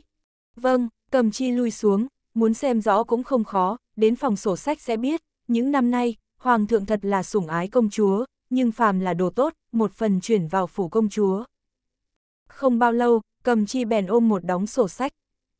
Hoàng thượng từ khi đăng cơ, tiền hậu 5 lần phong ấp cho công chúa, hiện nay đã phong ấp ngàn hộ rồi, ruộng đất ngàn mẫu, vàng vạn lượng, kim tơ gỗ lim, trầm hương có ba thứ giá trị liên thành, vàng bạc châu báu không đếm được, phỉ thúy thượng đẳng hơn 300 miếng, một quặng vàng, một mỏ than, hai quặng này mỗi năm thu vào cho phủ công chúa một khoản rất lớn, sa tanh lụa là 11 năm đạt tới 2.000 thước, ba viên dạ Minh Châu ngoại quốc tiến công, động hải Minh Châu, san hô đỏ, bình phong bằng ngọc. Khố phòng cũng không chứa hết, những thứ này đều lớn, còn có rất nhiều kiện nhỏ viết trong năm quyển sổ. Mộ dung tráng tráng mỉm cười, nụ cười này tràn ngập đau khổ, nếu dùng những thứ này đổi lấy một tiêu kiêu của ta, hắn tưởng sẽ yên lòng. Nhưng cô đều không cần những thứ này, người có nhiều hơn nữa, lại không có người người yêu nhất thì lại có ý nghĩa gì nữa. Có ý gì, công chúa lời này của người là có ý gì? Cầm chi hỏi. Tráng tráng khoát tay, không có ý gì, chỉ là cảm khái mà thôi, người để sổ sách trên bàn, ta tối nay ăn cơm rồi sẽ từ từ từ xem. Có gì hay mà xem, không bằng dẫn người đi xem vật thật, đồ đều ở trong khố phòng. Cầm chi cười nói, cũng được, đi xem thử đi, tráng tráng nói. Tráng tráng ở trong nhà khố phòng rất lâu, xung quanh người ngọc ngà châu báu không đếm rõ được, nàng ta cười rồi lại khóc, khóc rồi lại cười. Đến sáng mai, nàng ta từ trong khố phòng đi ra, nói với cầm chi ta vào cung một chuyến. Vào cung thỉnh an Hoàng Thái Hậu sao? Cầm chi hỏi. Không, ta muốn đi gặp Hoàng thượng.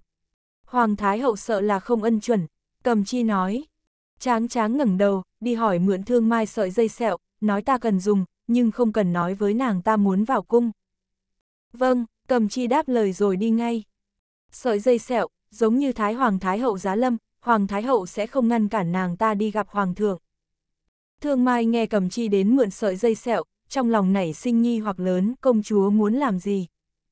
Cầm chi mỉm cười nói, công chúa nói nhớ Thái Hoàng Thái Hậu, mượn sợi dây sẹo xem thử, xem như nhìn thấy Thái Hoàng Thái Hậu.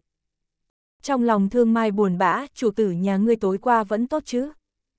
Cầm chi nói, không tốt lắm, từ sau khi Vương Phi đi, nàng liền hỏi những năm nay Hoàng thượng đã ban thưởng những gì, còn ngồi trong khố phong cả buổi.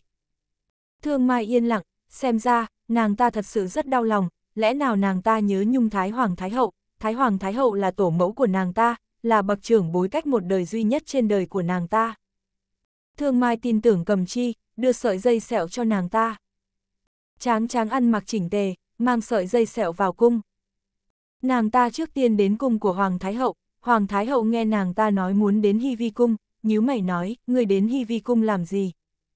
Nhớ Hoàng thượng, muốn đến gặp hắn, tráng tráng nói. Hoàng Thái Hậu thấy sắc mặt trắng bệch của nàng ta, biểu cảm quái dị, không khỏi hỏi, ngươi sao thế? Có phải có chút không vui không? Tráng tráng nhìn bà ta, chuyện của năm đó, bà ta chưa chắc không có tham dự vào, nếu không cũng sẽ không ban hôn cho Tiêu Kiêu và Hàn Thanh Thu. Không sao, trong lòng có hơi không thoải mái, muốn nói vài câu với Hoàng thượng. Hoàng thượng cũng không nghe được, người có gì không thoải mái thì nói với ai ra. Hoàng Thái Hậu nắm tay của nàng ta, nhìn nàng ta, hâm ý nói có phải là vì Tiêu Kiêu không? Nhiều năm như vậy rồi, người cũng chưa quên được hắn sao? Buông xuống đi, tráng tráng, nam nhân tốt trong thiên hạ có rất nhiều, nam nhân bạc tình như thế, thật sự không nên nhớ nhung. Tráng tráng mỉm cười, ánh mắt dị thường trong trẻo, tẩu tử cũng cảm thấy hắn bạc tình sao. Lẽ nào không phải sao? Chuyện năm đó giữa hắn với Hàn Thanh Thu, đã tổn thương trái tim của ngươi, nếu không phải nể mặt tính quốc hầu, ai ra sao hạ chỉ ban hôn. Hoàng Thái Hậu tức giận nói. Hoàng Tẩu tại sao phải hạ chỉ ban hôn, cho dù tính quốc hầu cầu người, người cũng không nên hạ ý chỉ này. Tráng tráng nói. Hoàng Thái Hậu khẽ thở dài một tiếng, đó là vì tính quốc hầu nói rồi, Hàn Thanh Thu xuất thân không cao, sợ nhục nhã không thể gả đi, bảo an ra ban hôn liền có thể nâng thân phận của nàng ta lên, tính quốc hầu đáp ứng ai ra, tiêu ra đời đời đều sẽ trung thành với triều đình. Phải, hầu ra năm đó, một nhân vật phong vân, thế lực cường đại, nếu như được tiêu ra hứa trung thành, hoàng thượng quả thật có thể không cần lo lắng gì về tương lai. Tráng tráng nhàn nhạt nói. Hoàng Thái Hậu nghe lời nàng ta nói, cứ cảm thấy có hơi kỳ quái, bà ta nhìn tráng tráng, người có phải nghe thấy cái gì rồi không? Có phải đã hiểu lầm cái gì đó? Tráng tráng đã cười, ta sẽ hiểu lầm cái gì? Hoàng Thái Hậu suy nghĩ một lát, người đừng đến hy vi cung, tình trạng của Hoàng thượng không tốt, người đi không chừng sẽ dọa ngươi. chương 337, Tráng Tráng gặp Hoàng thượng. Tráng Tráng rời khỏi cung điện của Hoàng Thái Hậu, từng bước đi về phía trước, Quỳnh Hoa nói, công chúa, hy vi cung rất xa, không bằng ngồi kiệu đến đó. Tráng Tráng lắc đầu, không, ta đi đến đó, cầm chi, Quỳnh Hoa, các ngươi ở đây đợi ta, đừng đi theo ta. Hay là để nô tỳ đi theo đi, cầm chi nói. Tráng Tráng lắc đầu chắc chắn, không, đoạn đường này, ta muốn tự mình đi. Cầm chi và Quỳnh Hoa nhìn nhau, đều cảm thấy công chúa hôm nay vô cùng khác thường, hai người đều rất lo lắng, nhưng công chúa căn dặn không được đi theo, các nàng cũng không dám đi theo. Tráng tráng đi đến Hy Vi Cung, ở bên ngoài đứng rất lâu mới từng bước đi về phía cửa cung. Thị vệ ngăn cản, chắp tay nói công chúa dừng bước. Bản cung muốn vào trong, tráng tráng nhìn bọn họ, lặng lặng nói, đẩy ra. Thị vệ nói, công chúa có ý chỉ của Hoàng Thái Hậu không? Tín vật của Thái Hoàng Thái Hậu ở đây, còn cần ý chỉ của Hoàng Thái Hậu sao? Tráng tráng hỏi. Thị vệ không biết sợi dây sẹo, nhưng nghe thấy tráng tráng nói như thế, bèn nói công chúa xin đợi chút, bị trước đi bẩm báo lộ công công. Lộ công công nghe thấy mộ dung tráng tráng đến rồi, không khỏi nhíu mày, trời ạ, vị công chúa này không dễ chọc. Ông ta vội đi ra ngoài, nhìn thấy tráng tráng đứng ở cửa cung, ông ta mỉm cười cúi người, a công chúa đến rồi. Bản cung muốn vào trong, tráng tráng nói rồi, đưa tay chạm vào sợi dây sẹo. Lộ công công nhìn thấy sợi dây sẹo, biểu cảm trở nên kính cẩn hơn, vâng, công chúa mời vào trong. Tráng tráng cất bước đi vào, lộ công công hỏi, công chúa sao không dẫn theo thị nữ? Một mình người đến sao? Các nàng ở chỗ Hoàng Thái Hậu đợi bản cung, lộ cung cung, Hoàng thượng từng tỉnh lại chưa? Tráng tráng hỏi. Lộ công công thở dài, từng tỉnh lại, nhưng đều luôn mơ màng, tỉnh lại cũng không có ý thức. Tráng tráng không nói chuyện, ngẩng đầu liếc nhìn bầu trời, sắc trời rất u ám. Người không cần đi theo vào trong, người hầu hạ cũng ra ngoài đi, bản cung muốn nói vài câu với hoàng thượng. Lộ công công do dự, nô tài ở bên cạnh cùng đi, tình trạng của hoàng thượng đặc biệt, không lúc nào không có ai ở đó. Lộ công công, bản công nhớ ngươi luôn hầu hạ bên cạnh hoàng thượng từ khi hoàng thượng còn là thái tử. Phải, nô tài đi theo hoàng thượng rất nhiều năm rồi. Tráng tráng nhàn nhạt nói, được, nếu đã như thế, người hầu hạ bên cạnh đi. Thi vi cùng có ngự y túc trực, lộ công công đi vào, ngự ý đi ra, tráng tráng bước vào, lộ công công thuận tiện đóng cửa công lại. Cửa cung nặng nề, từng cánh chắn ánh sáng, tiến vào tầm điện, còn có hai tấm rèm dày. Tráng tráng bước trên nền cẩm thạch trắng sạch sẽ, gần như không có âm thanh. Tẩm điện rất sạch sẽ, xung quanh có mùi thuốc, trên giường buông rèm, không nhìn rõ người nằm trên trong. Tráng tráng đi tới, vén tấm rèm ra, nhìn người trên giường, nước mắt lập tức rơi xuống. Nàng ta hận, nhưng cũng đau lòng. Sự tức giận và đau thương tích tụ trong lòng, vào khoảnh khắc này, dường như đều biến mất rồi. Nàng ta khẽ thở dài, hoàng đế, bản cung vốn là đến hỏi tội, nhưng nhìn thấy bộ dạng này của ngươi. Người trên giường, nhắm mắt, không có bất kỳ phản ứng. Ngược lại lộ công công nghe thấy lời này, thân thể hơi run lên. Tráng tráng ngồi xuống, ngồi bên cạnh giường, nhìn nam tử đã từng vô cùng tuấn mỹ đó, hiện nay đã trở thành bộ dạng như này, trong lòng đau nhói như kim châm. Những năm nay, ngươi cho bản cung rất nhiều thứ, vinh hoa phú quý, vàng bạc châu báu, nghìn dặm phong ấp, nhưng không có thứ mà bản cung muốn, nhưng thứ này, người đều thu lại đi, ngày mai bản cung sẽ nộp cho quốc khố. Ta vốn dĩ có rất nhiều lời muốn chất vấn ngươi, nhưng hiện nay nghĩ lại, lại có ý nghĩa gì nữa. Đều trôi qua lâu như thế rồi, ta thả tin ngươi không phải cố tình tổn thương ta, xem ngươi là vì bất đắc dĩ, xem ngươi là yêu ta, như thế trong lòng ta cũng thoải mái một chút.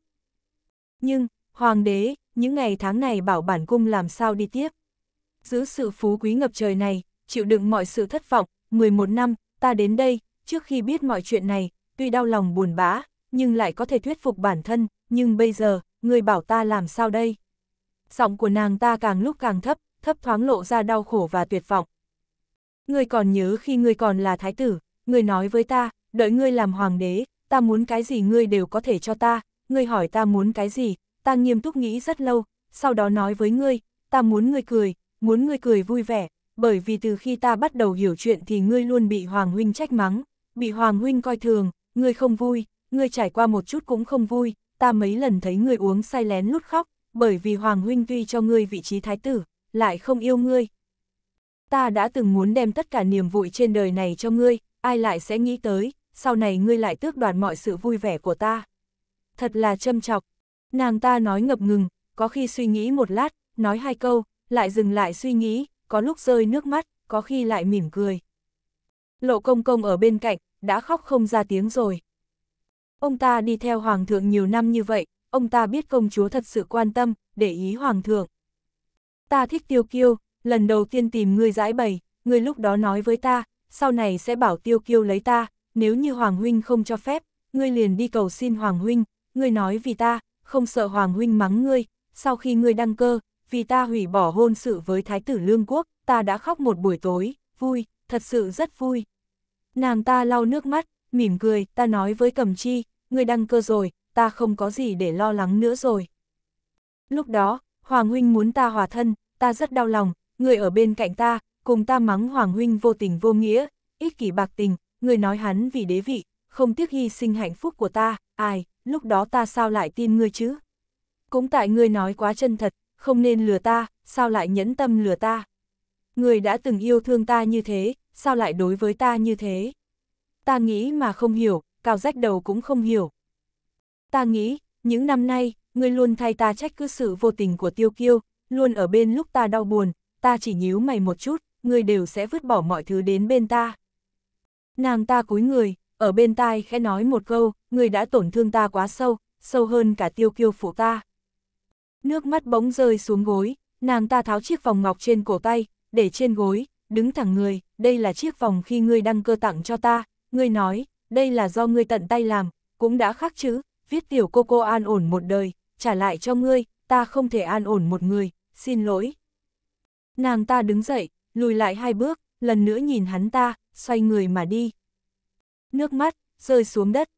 Lộ công công vội vàng đi ra theo, mắt đã sưng đỏ, công chúa, mọi chuyện đều là bất đắc dĩ, những năm này hoàng thượng luôn rất áy náy. Cố gắng hầu hạ hắn, tráng tráng không muốn nghe, bất cứ sự biện minh nào cũng không thể thay đổi quá khứ. Tráng tráng sau khi đi, sau rèm truyền đến một tiếng thở dài nặng nề. chương 338, hầu ra vào cung. Thương Mai bị Hoàng Thái Hậu tuyên triệu vào cung, trong lòng đại khái biết là chuyện gì. Mộ Dung Khanh cũng ở trong phủ, cô hỏi, nếu như Hoàng Thái Hậu hỏi, có nên nói thật không? Mộ Dung Khanh suy nghĩ một lát, nàng tự mình quyết định. Thương Mai cũng rất khó đưa ra quyết định, chuyện này Hoàng Thái Hậu chắc chắn biết, ít nhất biết một phần, nếu muốn nói ra, cũng sẽ khiến bà ta mất mặt. Mộ Dung Khanh ngẩng đầu nhìn hắn, nhàn nhạt nói, không có gì phải khó xử cả. Thương Mai nhìn hắn, trên mặt có ý cười ấm áp, được, ta biết rồi. Trong lòng mộ Dung Khanh rất thương tráng tráng, hắn không xen vào quyết định của cô, bởi vì người Hoàng Thái Hậu tuyên triệu không phải là hắn. Hắn biết cô cuối cùng sẽ nói, hắn thật ra cũng hy vọng cô nói, bởi vì Hoàng Thái Hậu biết chuyện này, vậy thì, bà ta nợ tráng tráng một lời giải thích. Thương Mai đến Thọ An Cung, Hoàng Thái Cung vòng vo một hồi, sau đó nhìn chầm chầm cô hỏi, công chúa đòi ngươi sợi dây sẹo muốn gặp Hoàng thượng, ngươi biết đã xảy ra chuyện gì, phải không? Thương Mai gật đầu, biết. Đã xảy ra chuyện gì? Có thể nói cho ai ra không? Vẻ mặt của Hoàng Thái Hậu thay đổi, hỏi. Thương Mai ngẩng đầu, nhìn thần sắc hơi căng thẳng của Hoàng Thái Hậu, Hoàng Thái Hậu, công chúa đã biết chuyện năm đó, nàng biết, là Hoàng thượng hạ lệnh tiêu kiêu không cho phép hắn lấy tráng tráng, Hàn Thanh Thu chỉ là nghe mệnh lệnh của hắn, đi câu dẫn tiêu kiêu. Sắc mặt của Hoàng Thái Hậu bỗng trở lên trắng bệch, hai tay bà ta để xuống, nhưng lại dùng sức nắm tay vịn của chiếc ghế, cảm xúc trong mắt trở lên rất phức tạp. Thương Mai nhìn bà ta, thật sự không thể phân rõ cách nghĩ trong lòng bà ta. Một lúc lâu, Hoàng Thái Hậu mới khẽ thở dài, quả nhiên như thế. Thương Mai hơi sững người, bà ta không biết. Hoàng Thái Hậu đưa tay, bảo cô ngồi xuống, nói ai ra thật ra cũng đoán ra vài phần, nhưng luôn không dám hỏi Hoàng đế. Hoàng Thái Hậu đều luôn không biết, Thương Mai hỏi. Hoàng Thái Hậu đảo mắt, nói không biết, thật ra rất miễn cưỡng, hầu ra đích thân vào cung cầu xin ai ra ban hôn cho Tiêu Kiêu và Hàn Thanh Thu, ai ra tức giận gắt hắn một trận, còn đuổi hắn ra ngoài, nhưng, Hoàng đế đích thân đến tìm ai ra, bảo ai ra hạ chỉ, ai ra lúc đó rất sốc, hỏi hắn là có ý gì, Hoàng đế nói với ai ra, nói Tiêu Kiều muốn lợi dụng tráng tráng, Tiêu gia có ý đồ mưu phản, hắn kêu ai ra hạ chỉ, bèn nói hầu ra chê Hàn Thanh Thu xuất thân không cao, để ai ra ban hôn có thể nâng cao thân phận của Hàn Thanh Thu. Ai ra cuối cùng đã đồng ý. Hoàng Thái Hậu tin sao? Thương Mai nâng cao giọng. Hoàng Thái Hậu nói, ai ra lúc đó đã tin, nhưng chuyện này sau khi xảy ra, ai ra suy nghĩ lại, cảm thấy không thể nào, con người của tiêu công, ai ra rất rõ, hắn đối với triều đình đối với hoàng gia đều nhất mực trung thành, sao có thể có ý đồ mưu phản chứ? Sau này, tiêu kiêu xuất trinh, lập chiến công liên tiếp, hơn nữa trừ về kinh báo cáo nhiệm vụ thì không có trở lại nữa, ai ra liền biết hắn đã tổn thương rất sâu. Nhưng, có thể như thế nào chứ? Ai ra không thể truy cứu chuyện này, hoàng đế, trung quy là con trai của ai ra. Bà ta bỗng ngẩng đầu, đến đi, truyền tĩnh quốc hầu vào cung. Thương Mai ngây ra, Thái hậu muốn làm gì? Hoàng Thái hậu biểu cảm bi thương, ai ra muốn biết năm đó hoàng đế đã nói như nào với tiêu gia, ai ra bỗng nghĩ đến một chuyện. Chuyện gì? Thương Mai hỏi. Viên mắt của Hoàng Thái hậu vậy mà đã đỏ hoe rồi, bà ta nhìn Thương Mai, năm đó, tiêu kiêu xuất trinh, lập được chiến công, lần thứ hai xuất trinh, là thống soái trước khi xuất trinh hắn quỷ trước mặt ta, đã xin ai ra một chuyện. Cầu xin điều gì, Thương Mai không khỏi tò mò. Hoàng Thái hậu trầm mặc một lúc lâu, mới khẽ nói, hắn nói, nếu hắn chết trên chiến trường, đừng chôn thi thể của hắn ở mộ phần của tướng sĩ, mà chôn cất cất ở Thang Sơn. Thang Sơn, là Thang Sơn ở ngoài kinh thành sao? Phải, Tráng Tráng trước đây thích nhất đến Thang Sơn tránh nóng, tiên đế ban cho Tráng Tráng một tòa trang viên, ở Thang Sơn, khi tiêu kiêu xuất trinh, Tráng Tráng cũng vừa hay ở Thang Sơn, lúc đó ai ra luôn không hiểu là tại sao, sau này dần dần quên mất chuyện này, hiện nay bỗng nghĩ tới, trời ạ, hai đứa trẻ này. Giọng của Hoàng Thái Hậu hơi nghẹn lại, bà ta đối với Tráng Tráng thật sự thương yêu, nếu đổi thành người khác, chưa chắc có thể khiến bà ta ái náy trong lòng như thế. Thương Mai hồi lâu không nói chuyện. Hoàng Thái Hậu cũng không nói gì nữa. Tinh Quốc Hầu vào cung, lúc này, sắc trời đã chập tối rồi. Hoàng Thái Hậu nhìn tính Quốc Hầu tóc bạc trắng, hầu ra, gần đây thân thể có tốt. Tạ Hoàng Thái Hậu quan tâm, lão thần cũng coi an khang. Tĩnh Quốc Hầu giọng như chuông vang, quả thật, Thương Mai thấy sắc mặt hồng hào đó, động tác nhanh nhẹn, có thể biết thân thể của ông ta thật sự an khang. Vậy thì tốt, sức khỏe hầu ra an khang, là phúc của đại chu ta. Hoàng Thái Hậu phượng thể an khang mới là phúc của đại chu ta. Hoàng Thái Hậu đã cười, hay, ai ra biết hầu ra là người sảng khoái, cũng không vòng vo nữa, Ngươi nói cho ai ra biết, năm đó tiêu kiêu trước khi lấy hàn thanh thu, đã xảy ra chuyện gì. Hoàng đế đã nói gì với tiêu gia các ngươi, có phải là đã uy hiếp các ngươi?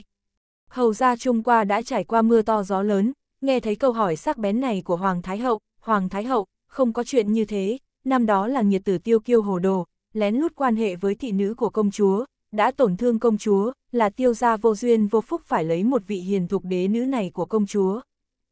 Hoàng Thái Hậu khẽ thở dài, hầu ra không cần nói vòng vo, ai ra chỉ muốn biết sự thật. Đây chính là sự thật, Hoàng Thái Hậu không cần đi sâu, sự việc đã trôi qua 11 năm, mọi chuyện đều đã qua rồi, Hoàng thượng anh Minh, trong lúc tại vị, tạo phúc cho bách tính, nhận được yêu quý bách tính, là minh quân khó gặp được. Hầu ra đanh thép có lực nói. Thương Mai biết hầu ra cái gì cũng sẽ không nói, ông ta là người ý chí kiên định, cũng là tướng soái có tầm nhìn xa, ông ta hiểu sâu sắc, vì quốc gia mà suy nghĩ, vì tiêu gia mà suy nghĩ, mọi chuyện đều nên chôn vùi. Hoàng Thái Hậu thấy ông ta cố chấp không nói, bèn nói, bỏ đi, ai ra biết ngươi nếu như không muốn nói, sợ là không thể ép ngươi mở miệng, ai ra chỉ hỏi ngươi một câu, nếu như tiêu kiêu và công chúa còn có tình, ngươi có nguyện cho công chúa với tiêu kiêu thành thân không? Hầu ra trầm mặc một lúc, mới từ từ nói, tôn tử của lão thần không có tài đức để xứng với công chúa. Biểu cảm của thương mai lặng xuống, xem ra, tiêu gia thật sự sợ rồi. Hoàng Thái Hậu thở dài, người đi đi. Hầu ra trước khi đi đã liếc nhìn thương mai, nói, Vương Phi, mọi chuyện đều là sự sắp xếp tốt nhất, Vương Phi không cần nhọc lòng. Lời này rõ ràng là đang nói với Thương Mai, đừng lo chuyện bao đồng. Thương Mai trầm mặc không nói, cô biết người đứng đầu một đại gia tộc, trên vai phải gánh vác cái gì, đó là tính mạng của cả gia tộc, không cho phép ông ta mềm lòng. Hầu ra sau khi rời khỏi Hoàng Cung, trầm giọng phân phó người bên cạnh, lập tức đi điều tra, xem công chúa hôm nay có phải đã từng vào cung. Vâng, thị vệ nhận lệnh đi làm. Hầu ra về đến phủ, thị vệ cũng không bao lâu cũng về đến rồi, bẩm hầu ra, hôm nay công chúa quả thật vào cung, còn gặp hoàng thượng. Sắc mặt hầu ra ngưng trọng, trầm tư hồi lâu, ngẩng đầu từ từ nói, để đại phu nhân đến phủ công chúa một chuyến, nói vài câu với công chúa. chương 339, thiếu niên của chúng ta. Đại phu nhân trương thị của hầu phủ, mẫu thân của tiêu thác và tiêu kiêu. Nghe thấy sự phân phó của lão gia tử, trương thị khẽ lắc đầu, hà tất gì phải sát thêm muối vào vết thương chứ. Hầu ra trầm tính nhìn bà ta, người luôn hiểu chuyện, nguyên do bên trong không cần lão phu nói cũng hiểu, chuyện này liên quan đến tính mạng người thân của mấy trăm người tiêu gia chúng ta. Những năm nay tuy chúng ta hành sự khiêm tốn thu nhiễm phong mang, nhưng Hoàng thượng vẫn kiêng kỵ chúng ta, hiện nay công chúa đã biết sự thật, nếu như nàng ta đi tìm tiêu kiêu, tiêu kiêu có thể chống đỡ không? Ông ta nhìn xung quanh, đè thấp giọng nói, Hoàng thượng chỉ là bị bệnh, còn chưa có băng hà. Trương thị đã trầm mặc, phải, tiêu kiêu đối với công chúa không có năng lực chống đỡ, nhưng công chúa ở trước mặt hắn ta nói một câu, hắn ta ngay cả mạng cũng có thể cho nàng ta. Nếu như hai người một khí quấn vào nhau, hậu họa không lường được.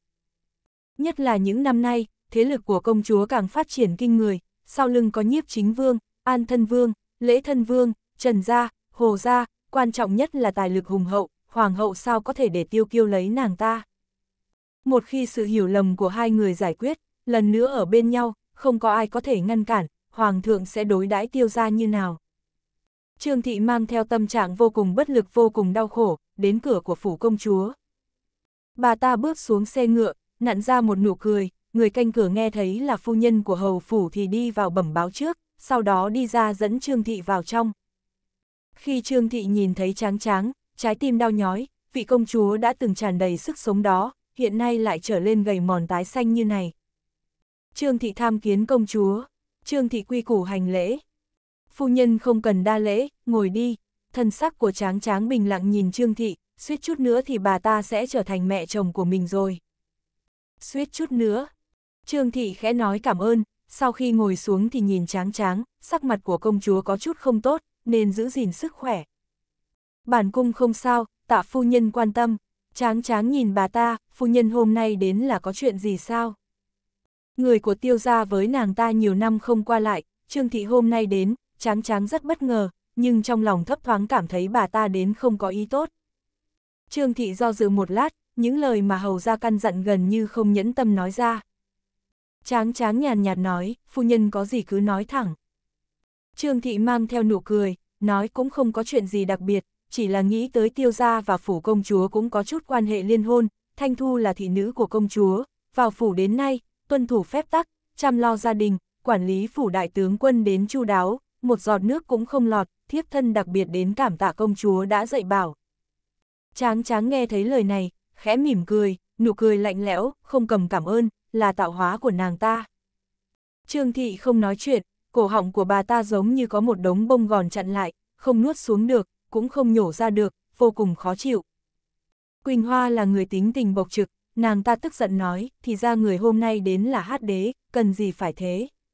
Công chúa trước đây và phu nhân cũng có giao tình, không cần thiết tổn thương người như thế, chuyện của tiêu gia các người có liên quan gì đến phủ công chúa, không cần đến cảm tạ công chúa. Trương thị xấu hổ ngượng ngập, công chúa lượng thứ, thiếp thân. Ai, bỏ đi, thiết nghĩ công chúa hiểu ý của thiếp thân, thiếp thân tuy ích kỷ, lại cũng không phải là vì mình, hy vọng công chúa có thể hiểu cho.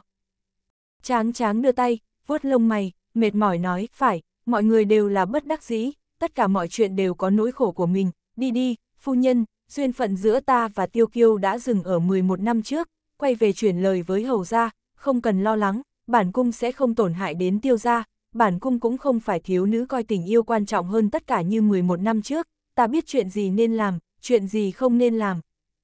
Trương Thị nghe vậy trong lòng rất buồn, ở trước mặt tráng tráng, bà ta cảm thấy mình rất đáng khinh. Bà ta không còn mặt mũi gặp tráng tráng nữa, cho nên đứng dậy cáo lui. Tiêu kiêu tự nhiên cũng bị hầu ra nhắc nhở một phen, tiêu kiêu cả quá trình không nói một lời, chỉ là đến cuối, nói một câu, cháu biết làm như nào. Hắn ta sau khi rời khỏi, lại không biết có thể đi đâu, hầu phủ không muốn quay về, đại tướng quân phủ càng không muốn trở về, từ trong miệng của tổ phụ, hắn ta biết tráng tráng đã biết chuyện năm đó, nhưng có thể như nào chứ? 11 năm trước không thể ở bên nhau, hiện nay thì có thể rồi sao? Hắn ta đến tụ hiền cư, tìm một nhã gian uống rượu, một mình uống 5 cân rượu, hắn ta nằm bò trên bàn, cứ uống đến khi trong lòng không có bất kỳ cảm giác nào nữa. Trong cơn say, hắn ta dường như nghe thấy có người đi vào, có người nhẹ nhàng ngồi xuống, ở bên cạnh hắn ta. Có người ôm lấy hắn ta, ở bên tai hắn ta nói, nói cái gì hắn ta nghe không chân thật, nhưng... Giống như lần đầu tiên hắn ta ôm tráng tráng, còn hôn nàng ta, cứ như thế không màng mọi thứ, hắn ta rất muốn tìm lại bản thân khi đó. Không quay lại được nữa, bọn họ đều không có dũng khí lúc đầu, cũng không có sự đơn thuần của lúc ban đầu nữa rồi. Tráng tráng, trong kẽ răng của hắn ta lẩm bẩm cái tên này, cảm nhận được người đó ôm hắn ta, trên mặt có giọt nước mắt nóng bỏng. Tráng tráng quả thật đến rồi, ám vị tìm được hắn ta, nàng ta liền đến rồi. Nàng ta ôm hắn ta, không có mong muốn khác, nàng ta chỉ là hy vọng mình nhớ hương vị này, nàng ta quên mất bao lâu, loại cảm giác tiếp xúc ra này. Hắn ta cuối cùng tìm được tiêu cự, nhìn thấy nàng ta. Tráng tráng lùi ra, mỉm cười nhìn hắn ta, biết ngươi ở đây, ta đến nói chuyện. Đầu của tiêu khiêu rất choáng, không biết có phải bởi vì nụ cười của nàng ta không. Hắn ta đưa tay, ngón tay thô sáp lướt qua gò má của nàng ta, lau nước mắt, lẩm bẩm nói, ở trong lòng ta, một người giống như bảo bối, tại sao người khác muốn tổn thương như thế? Tráng tráng cười trong nước mắt, nhìn ngươi kìa, trông rất ngốc. Từ khi ta vào cung, nàng liền nói ta ngốc, hiện nay nghĩ lại, chắc là ngốc thật. Hắn ta mỉm cười như đứa trẻ, đáy mắt nhiễm ý say và đau thương, một người si ngốc như thế, nàng còn nhớ nhung nhiều năm như thế, nàng không phải càng ngốc hay sao? Ý cười của tráng tráng càng sâu, phải, không phải là người một đường, không thể đi chung một tuyến. Phải, hắn ta si ngốc nhìn cô ta, không lỡ rời mắt đi. Người còn nhớ không, có một lần chúng ta xuất cung đi xem hội chùa, trong đám đông bị tách nhau ra, người sao tìm được ta.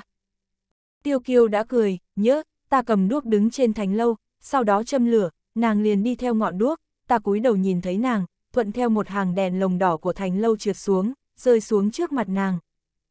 Phải, người của lúc đó, từ trên trời rơi xuống, thật đẹp. Tráng tráng đưa tay, sờ đôi mày bình lặng của hắn ta, trên mặt nàng ta đều là ý cười, mỉm cười vừa ngọt ngào vừa đắng chát. Cũng vào khoảnh khắc đó, trong lòng nàng ta quyết định, không phải hắn ta không gả. Hy vọng thời gian mãi mãi dừng lại ở đêm hôm đó.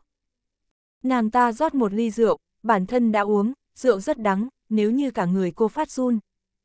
Bọn họ cứ như thế, nói chuyện của trước kia, cuối cùng lại phát hiện, thì ra trong những ngày tháng niên thiếu bên nhau, bọn họ sớm đã thấu hiểu lòng nhau, sớm đã lập lời thề bên nhau ở đời.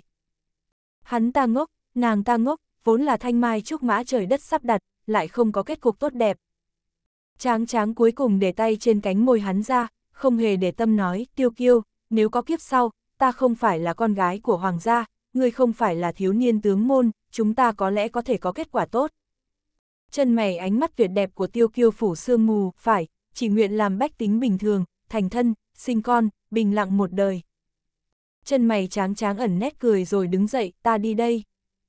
Tiêu kiêu đứng dậy, vẫn ở trước bàn, nhìn nàng ta bước ba bước lại quay đầu lại, biến mất ở trong tầm mắt của hắn ta, biến mất ở trong cuộc đời hắn ta. chương 340, giá y của chúng ta. Thương Mai tối nay tâm thần luôn không yên, ở trên giường lật qua lật lại cũng không ngủ được. Mộ Dung Khanh nhíu mày hỏi, sao thế? Sắp giờ tí rồi, sao còn chưa ngủ? Thương Mai dứt khoát ngồi dậy, ôm chăn lo lắng nói, ta không biết, trong lòng rất loạn. Bởi vì chuyện của tráng tráng sao, mộ dung khanh cũng ngồi dậy, nhìn nàng ta. Phải, ta cứ cảm thấy tối nay khi tráng tráng đến trả sợi dây sẹo, có loại hơi thở tuyệt vọng. Mộ dung khanh ngây ra, nàng là nói tráng tráng sẽ nghĩ không thông. Ta không biết. Mộ dung khanh lắc đầu, không thể nào, đã trôi qua nhiều năm như thế, tiểu cô cô không thể vì chuyện này mà nghĩ không thông. Năm đó tiểu cô cô tưởng tiêu kiêu phản bội tiểu cô cô, tiểu cô cô cũng trượt qua được, bây giờ biết tiêu kiêu không phải phản bội tiểu cô cô, vẫn yêu tiểu cô cô sâu sắc, sao lại nghĩ không thông chứ? Nàng lo nghĩ nhiều rồi. Thương Mai cảm thấy hắn nói có lý, lúc đầu buồn thương như thế cũng vượt qua được, sao đến bây giờ mới nghĩ không thông. Sức chịu đựng của tráng tráng không yêu như thế đâu. Cô lại nằm xuống, hy vọng là ta lo nghĩ nhiều. Mộ dung khanh ôm lấy cô, ngủ đi, không sao đâu. Thương Mai nhắm mắt, nhưng cũng không thể ngủ được, không có một tí cảm giác buồn ngủ. Cô cố thử thế vào tráng tráng, nếu như cô là tráng tráng, lúc này cô sẽ làm như nào? Nhưng, cô phát hiện thế vào cảm thấy rất mong manh, bởi vì cô không phải tráng tráng, không có trải qua những tổn thương đau thấu tim gan đó. Tráng tráng về đến phủ công chúa, gọi cầm chi và Quỳnh Hoa đến, các người từ khi vào cung đã luôn đi theo ta, chúng ta tuy danh phận là chủ tớ, nhưng sớm đã thân thiết hơn tỉ muội các người đối với ta như nào, trong lòng ta rõ ràng, ta đối với các ngươi như nào, trong lòng các ngươi cũng rõ ràng. Cầm chi cảm thấy tinh thần của nàng ta có hơi lạ, không khỏi lo lắng hỏi, công chúa, sao đột nhiên nói những điều này? Người vừa rồi đã đi đâu? Ta đã gặp tiêu kiêu, tráng tráng không có che giấu hai người. Người đi gặp đại tướng quân, cầm chi và Quỳnh Hoa nhìn nhau, đều có hơi ngạc nhiên. Tráng tráng mỉm cười, phải, ta gặp hắn, hơn nữa cùng hắn nói rất nhiều. Vậy, cầm chi nhìn nàng ta, hai người đã nói cái gì?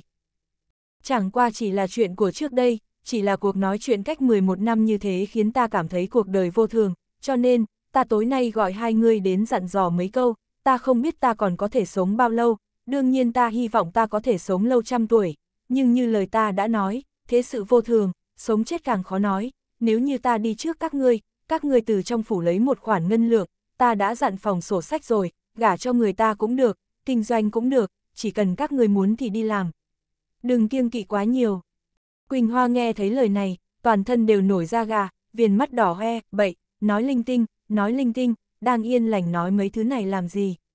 Công chúa nếu như xảy ra chuyện ngoài ý muốn gì, Quỳnh Hoa ta lập tức đi theo.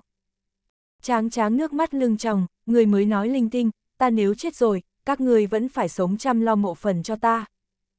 Không được phép nói mấy điều này, nói ra khiến người ta dựng tóc, có phải đại tướng quân đã nói gì với người không? Cầm chi tức giận nói. Không phải, đừng trách hắn, hắn rất tốt, ta và hắn chỉ là có duyên không phận. Tráng tráng vẫn giữ nụ cười bình thản, che đậy trái tim đang gào thét. Vậy ngươi đừng nói nữa, mau đi ngủ, có được không? Đừng dọa chúng ta, cầm chi viền mắt đỏ hoe nói. Tráng tráng nắm tay của hai người, khẽ nói, nghe ta nói, nếu như ta thật sự xảy ra chuyện gì, các ngươi chuyển lời cho tiêu kiêu, kêu hắn sống cho tốt, tìm một nữ tử tốt, thành thân sinh con, trải qua sự bình lặng một đời mà hắn muốn. Quỳnh Hoa nhảy dựng lên, người đừng nói, đừng nói, nô tỳ không muốn nghe, những lời này rất xui xẻo, không muốn nghe. Tráng tráng cười nói, nhìn người kia, lo lắng quá rồi, ta cũng chỉ là tùy tiện nói thôi. Tùy tiện nói cũng không thể nói những điều này, đây không phải dọa chúng ta sao? Cầm chi nói, được, không nói nữa, ta cũng buồn ngủ rồi, tối nay đã uống chút rượu, đúng rồi, các người tối nay ngủ sớm đi, không cần canh đêm, ngày mai dậy sớm chút, chúng ta đi đến một nơi. Đi đâu? Cầm chi hỏi. Ta muốn đến Thang Sơn ở một thời gian, các ngươi trước tiên thu dọn đồ của các ngươi, sáng mai thì đến thu dọn cho ta. Tráng tráng nói. Quỳnh Hoa gật đầu, đến Thang Sơn cũng tốt, đi giải tỏa tâm trạng. Các nàng thở phào, nếu như công chúa bằng lòng ra ngoài, rời khỏi kinh thành, có lẽ tâm trạng sẽ tốt lên. Ừm, đi đi, ta buồn ngủ rồi, phải ngủ sớm. Tráng tráng nói. Cầm chi đứng dậy, nói với Quỳnh Hoa, ta đi dặn phu xe trước, ngươi về thu dọn đồ đạc trước, tính cả những thứ đó của ta cũng thu dọn, mang thêm ít quần áo, chúng ta ở thêm một khoảng thời gian. Được, Quỳnh Hoa nói. Hai người hầu hạ tráng tráng ngủ rồi mới đi ra. Tráng tráng nghe tiếng bước chân của hai người ra dần, nàng ta từ từ ngồi dậy, ôm chăn, ngồi một lúc mới từ từ bước xuống. Trong tầm điện đốt một ngọn nến, ngọn lửa nhảy nhót, nàng ta nhìn ngón lửa đó, trong mắt cũng phản chiếu ảnh sáng, lại không biết là nước mắt hay là ánh lửa. Trên bàn trà có ấm trà, có nước, nàng ta đã rót một ly rồi uống. Nàng ta đi đến trước bàn sách, trải giấy tuyên ta, mài mực, muốn viết gì đó, nhưng nhấc bút hồi lâu, cũng không biết có gì có thể viết.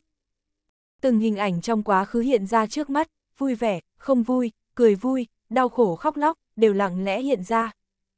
Giống như một đường thẳng.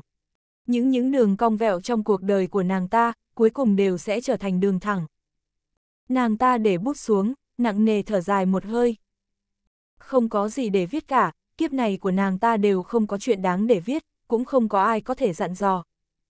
Những gì nàng ta nhớ, những gì nàng ta muốn quên, dường như đều không quan trọng nữa rồi. Sau đó, nàng ta mở tủ quần áo, lấy ra một bộ giá y. Bộ giá y này không phải bộ tiêu kiêu tặng cho nàng ta, bộ đó đã mặc lên người của Hàn Thanh Thu, nàng ta tận mắt nhìn thấy Hàn Thanh Thu mặc nó gả cho nam nhân mà nàng ta yêu sâu đậm. Sau này, nàng ta lại ra lệnh người làm một bộ, tìm được tú nương đó, từng kim từng mũi làm theo bộ tiêu kiêu đã tặng cho nàng ta.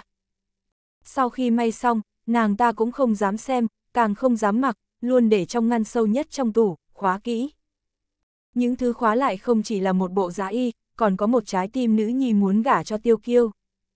Cô cởi quần áo trên người, trong gương đồng phản chiếu thân thể không tì vết của nàng ta, thiếp muốn đem mình gả cùng sự kết thúc một đời, dù vô tình từ bỏ, không thể thẹn. Nàng ta mặc từng lớp giá y lên người, ở dưới ánh nến, kim tuyến sáng lấp lánh, đường thêu phức tạp tạo ra hình ảnh long phượng quấn quanh, như lời chúc tốt đẹp nhất trong đáy lòng của nàng ta với tương lai. Mặc xong giá y, nàng ta ngồi trước bàn trang điểm, cẩn thận trang điểm cho mình, nàng ta muốn làm một tân nương xinh đẹp nhất để gả đi, cho nên vô cùng cẩn thận, không cho phép trang điểm có chút sai sót. Lông mày đã vẽ mấy lần, nàng ta đều không hài lòng, lau đi vẽ lại, cuối cùng hài lòng rồi, nàng ta mỉm cười, giữ mi tâm dán một bông hoa màu vàng, mỉm cười quyến rũ với mình ở trong gương. Nàng ta có rất nhiều trang sức, đủ loại trang sức đắt giá, nhưng nàng ta đã chọn một chiếc bằng bạc, là tiêu kiêu tặng cho nàng ta vào sinh nhật 10 tuổi, hắn ta nói là hắn ta tự mình với thợ bạc làm ra. Rất tinh mỹ, là món quà tuyệt vời nhất mà kiếp này nàng ta từng nhận được. Không, không đúng, món quà tuyệt vời nhất mà nàng ta từng nhận là nam tử mi mục như họa mà ông trời ban cho nàng ta, tiêu kiêu của nàng ta. chương 341, tráng tráng tự sát. Sau khi làm xong tất cả những điều này, nàng ta nằm xuống giường, lấy từ đầu giường ra một lọ thuốc, đổ ra một viên cho vào miệng. Nàng chậm chậm nhắm mắt, nước từ khóe mắt khẽ lăn xuống.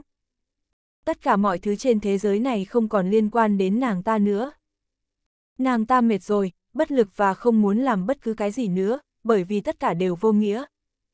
Ngoài cửa có tiếng bước chân gấp gáp, cùng với âm thanh vội vàng ngăn cản của cầm chi, vương phi, công chúa đã ngủ rồi, người có việc gì quan trọng, ngày mai lại đến ạ. À. Khoảnh khắc bóng tối ập đến, tráng tráng nghe thấy tiếng xô cửa.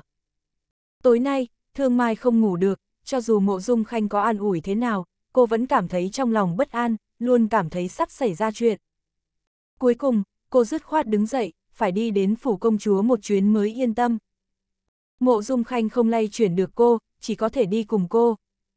Nhưng mà trên đường đi vẫn luôn nói cô quá đa nghi, đêm hôm khuya khoát còn qua đó, trái lại sẽ dọa tráng tráng sợ. Thương Mai xô cửa, xông vào, miệng hét lên, tráng tráng. Mộ dung khanh không vào, đêm hôm khuya khoát, tráng tráng đã ngủ rồi, không thích hợp vào phòng ngủ của tráng tráng, cho nên hắn đứng đợi ngoài cửa.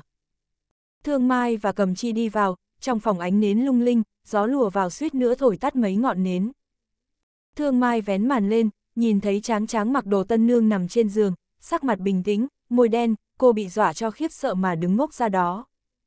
Cô từ từ đi tới, giọng run rẩy, nhẹ nhàng gọi một tiếng, tráng tráng. Cầm chi cũng kinh ngạc hét lên, trời ơi, xảy ra chuyện gì vậy? Thương Mai lạnh lùng hét lên, lão thất, lấy hộp thuốc. Mộ Dung Khanh ở bên ngoài nghe thấy tiếng hét của Thương Mai, trong lòng hồi hộp, dùng mình một cái, nghĩ cũng không nghĩ, lập tức chạy như bay vào xe ngựa lấy hộp thuốc. Thương Mai bắt mạch của tráng tráng, phát hiện mạch vẫn còn đập, vội vàng đỡ tráng tráng dựa vào đầu giường, lật người lại, trực tiếp đưa tay vào trong cổ họng nàng ta, sau đó gọi cầm chi đã sợ ngẩn người ở bên cạnh, nhanh, lấy nước muối, lấy nhiều vào. Cầm chi lấy lại tinh thần, lê đôi chân yếu ớt lảo đảo chạy ra ngoài. Quỳnh Hoa cũng đã đến, nhìn thấy cảnh này suýt nữa thì ngất xỉu. Cách gây nôn khẩn cấp của Thương Mai lập tức có tác dụng, tráng tráng nôn ra một ít, nhưng mà người vẫn hôn mê.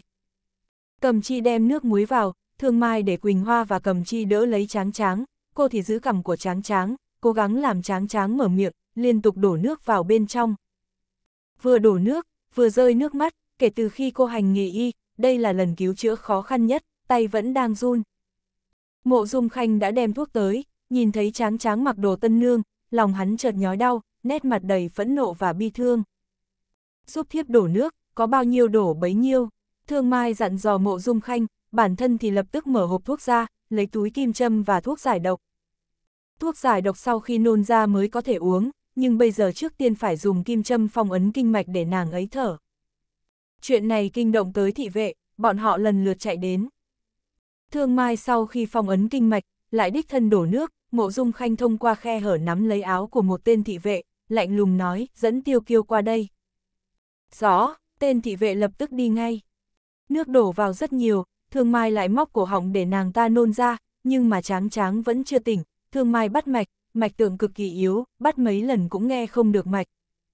Là độc gì, biết là độc gì không? Thương mai khóc hỏi mộ dung khanh, rất có thể loại độc tráng tráng dùng là từ cung đình, nếu không thì cô đã biết rồi. Mộ dung khanh lục lọi, từ đầu giường lấy ra một lọ thuốc, đổ ra một viên, sắc mặt thay đổi, an tức hoàn. An tức hoàn, là cái gì? Thương Mai hỏi. Mộ dung khanh gần như nghiến răng nghiến lợi nói, là do ngự y trong cung điều chế, thường dùng ban chết cho các cung tần. Nếu đã là ngự y điều chế, muốn nhanh chóng cứu người thì truyền ngự y lấy thuốc giải. Thương Mai mừng rỡ nói. Nhưng mà, Thương Mai chưa vui mừng được bao lâu, thì thấy sắc mặt của mộ dung khanh rất nặng nề, cô rời tay, nhìn hắn, khó khăn hỏi, không có thuốc giải sao? Không có, miệng mộ dung khanh nói ra hai chữ này, chặt đứt hy vọng của Thương Mai. Thương Mai lại đau lòng, mặc dù đã tạm thời phong ấn kinh mạch, chặn được sự lan tràn của độc tính, nhưng mà không thể trực tiếp châm cứu, kiểu gì ba ngày sau cũng phải thông kinh mạch, nếu không thì cũng đi vào ngõ cụt. Thuốc độc là do ngự y điều chế, lại không có thuốc giải. Vậy nhất định bọn họ biết độc dược được tạo thành từ cái gì, truyền bọn họ xuất cung, ta muốn biết rốt cuộc là loại độc gì. Thương Mai trầm tư nói. Mộ Dung Khanh ra lệnh, truyền khẩu dụ của bổn vương, ngự y đã điều chế an tức hoàn, lập tức xuất cung. Rõ, một tên thị vệ lui xuống. Đêm khuya truyền ngự y xuất cung, trong cung chắc chắn sẽ biết, rất nhanh tất cả mọi người sẽ biết, công chúa tự tử, việc lớn này sẽ kinh thiên động địa ra sao. Nhưng mà, biết thì sao, là ai đã khiến tráng tráng ra nông nổi này? Ngự y đêm khuya xuất cung, đương nhiên kinh động tới Hoàng Thái Hậu, Hoàng Thái Hậu truyền tôn công công đến hỏi tình hình, mới biết là tráng tráng uống an tức hoàn, Hoàng Thái Hậu trợn tròn hai mắt rồi ngất xỉu. Những việc này dấy lên một làn sóng kinh thiên động địa trong cung. Đây là một việc làm long trời lở đất, một công chúa tự tử đã khủng khiếp lắm rồi, huống chi còn là công chúa Trấn Quốc Đương Triều, đây còn là con gái ruột của Huệ Đế. Bây giờ con cái của Huệ Đế chỉ còn lại mộ dung tráng tráng và lão vương gia Việt Đông, lão vương gia này hai ngày nữa sẽ lập tức trở về. Lão già này, tính khí thất thường, lại thương em gái tráng tráng đến tận xương tủy, hẳn sợ, ngày đó sẽ nổ tung mất thôi. Thương Mai và Ngự Y ở trong phòng đã nói chuyện gần một giờ, cô Lê tấm thân mệt mỏi ra ngoài, sắc mặt đầy vẻ phờ phạc. Loại thuốc độc đó, thậm chí cô còn chưa bao giờ nghe qua, hỗn hợp gồm 7 loại độc dược, an thức hoàn bào chế từ độc dược của con rết, Ngự Y nói không có thuốc giải. Mộ Dung Khanh vẫn luôn ngồi bên giường nhìn tráng tráng, khuôn mặt đã tối sầm lại, bộ đồ tân nương bị thương mai xé để sơ cứu, hiện tại có hơi bừa bãi, búi tóc trải gọn gàng cũng đã rối tung, vẻ mặt ngọt ngào vui tươi trước đây, bây giờ không có một chút tức giận. Hai mắt của mộ dung khanh đỏ hoe, chán nổi đầy gân xanh. Thương Mai nhìn thấy thì trong lòng khó chịu, cô bước đến, nhẹ nhàng ôm lấy mộ dung khanh, cô muốn an ủi mộ dung khanh, nói tráng tráng sẽ không sao, nhưng mà cô lại nói không được. Mộ dung khanh từ từ nhắm mắt lại, nhẹ nhàng nói, thương mai, thờ ơ, mới là sai lầm lớn nhất. Hai năm nay, hắn thực sự muốn làm điều gì đó cho tráng tráng và tiêu kiêu, nhưng mà hắn không dám nói chuyện này ra, bởi vì hắn cũng không ngờ tới. Hắn sợ hãi sự lộng lẫy gấm vóc của tầng lớp hoàng gia, bên trong lại thối nát, thấp hèn. Mọi người đều nói thương tráng tráng, nhưng mà mọi người đều lựa chọn thờ ơ, nhìn nàng ta chịu đau khổ. Thương Mai vừa đau vừa khó chịu, là lỗi của cô, cô không nên điều tra sự tình, không nên cho tráng tráng biết tất cả đều là do Hoàng thượng làm, tráng tráng vẫn luôn rất coi trọng người nhà, rất coi trọng tình thân, trong lòng nàng ta, cùng nàng trèo chống vượt qua nỗi đau khổ mất mát tiêu thác là người nhà của nàng. Nhưng mà, đột nhiên để nàng ta biết, hóa ra chỉ là nàng vẫn luôn sùng bái tình thân mà thôi. Thế giới của nàng ta sụp đổ rồi. Thương Mai khóc nức nở. chương 342, chết vì tình. Thị vệ tìm thấy Tiêu Kiêu ở tụ hiền cư. Tiêu Kiêu sau khi từ lúc tráng tráng rời đi thì đã uống rất nhiều, Hồ Hạnh Nhi tối nay cũng không hề rời đi mà ở lại đây, nhìn thấy thị vệ cầm chỉ thị viết tay của mộ dung khanh, trong lòng nàng ta nặng trĩu. Nàng đưa thị vệ đến gian tiếp khách, lạnh lùng ra lệnh cho người ném tiêu kiêu xuống hồ tụ hiền cư lạnh giá, để hắn tỉnh rượu. Tiêu kiêu nửa say nửa tỉnh bị lôi tới, Hồ Hạnh Nhi ngồi xuống bên cạnh hắn, lạnh lùng nói bốn chữ tráng tráng tự sát. Bốn chữ này, tiêu kiêu nghe như xét đánh bên tai. Hắn chạy như điên đến phủ công chúa, ở trước cửa thở hồn hèn, chạy dọc đường khiến hắn tỉnh rượu hơn, tỉnh táo đến tận tim phổi. Hắn đứng ở cửa, không đi vào, mỗi lần hắn hồi kinh, đều sẽ đến đây, vẫn luôn quay quẩn quyến luyến ở đây, dường như ở đây có thể gần gũi nàng ta hơn. Cuối cùng, lễ thân vương, an thân vương kinh ngạc khi biết tin chạy đến kéo hắn vào. Tất cả âm thanh ở bên tai hắn dường như là ký ức của kiếp trước, ồn ào hỗn loạn, mắt hắn không có tiêu điểm, không biết nên nhìn ở đâu, thân thể mệt mỏi, không kiểm soát được mà đi vào bên trong. Người ra vào như đèn lồng quay vòng, hắn giống như ở một thế giới khác.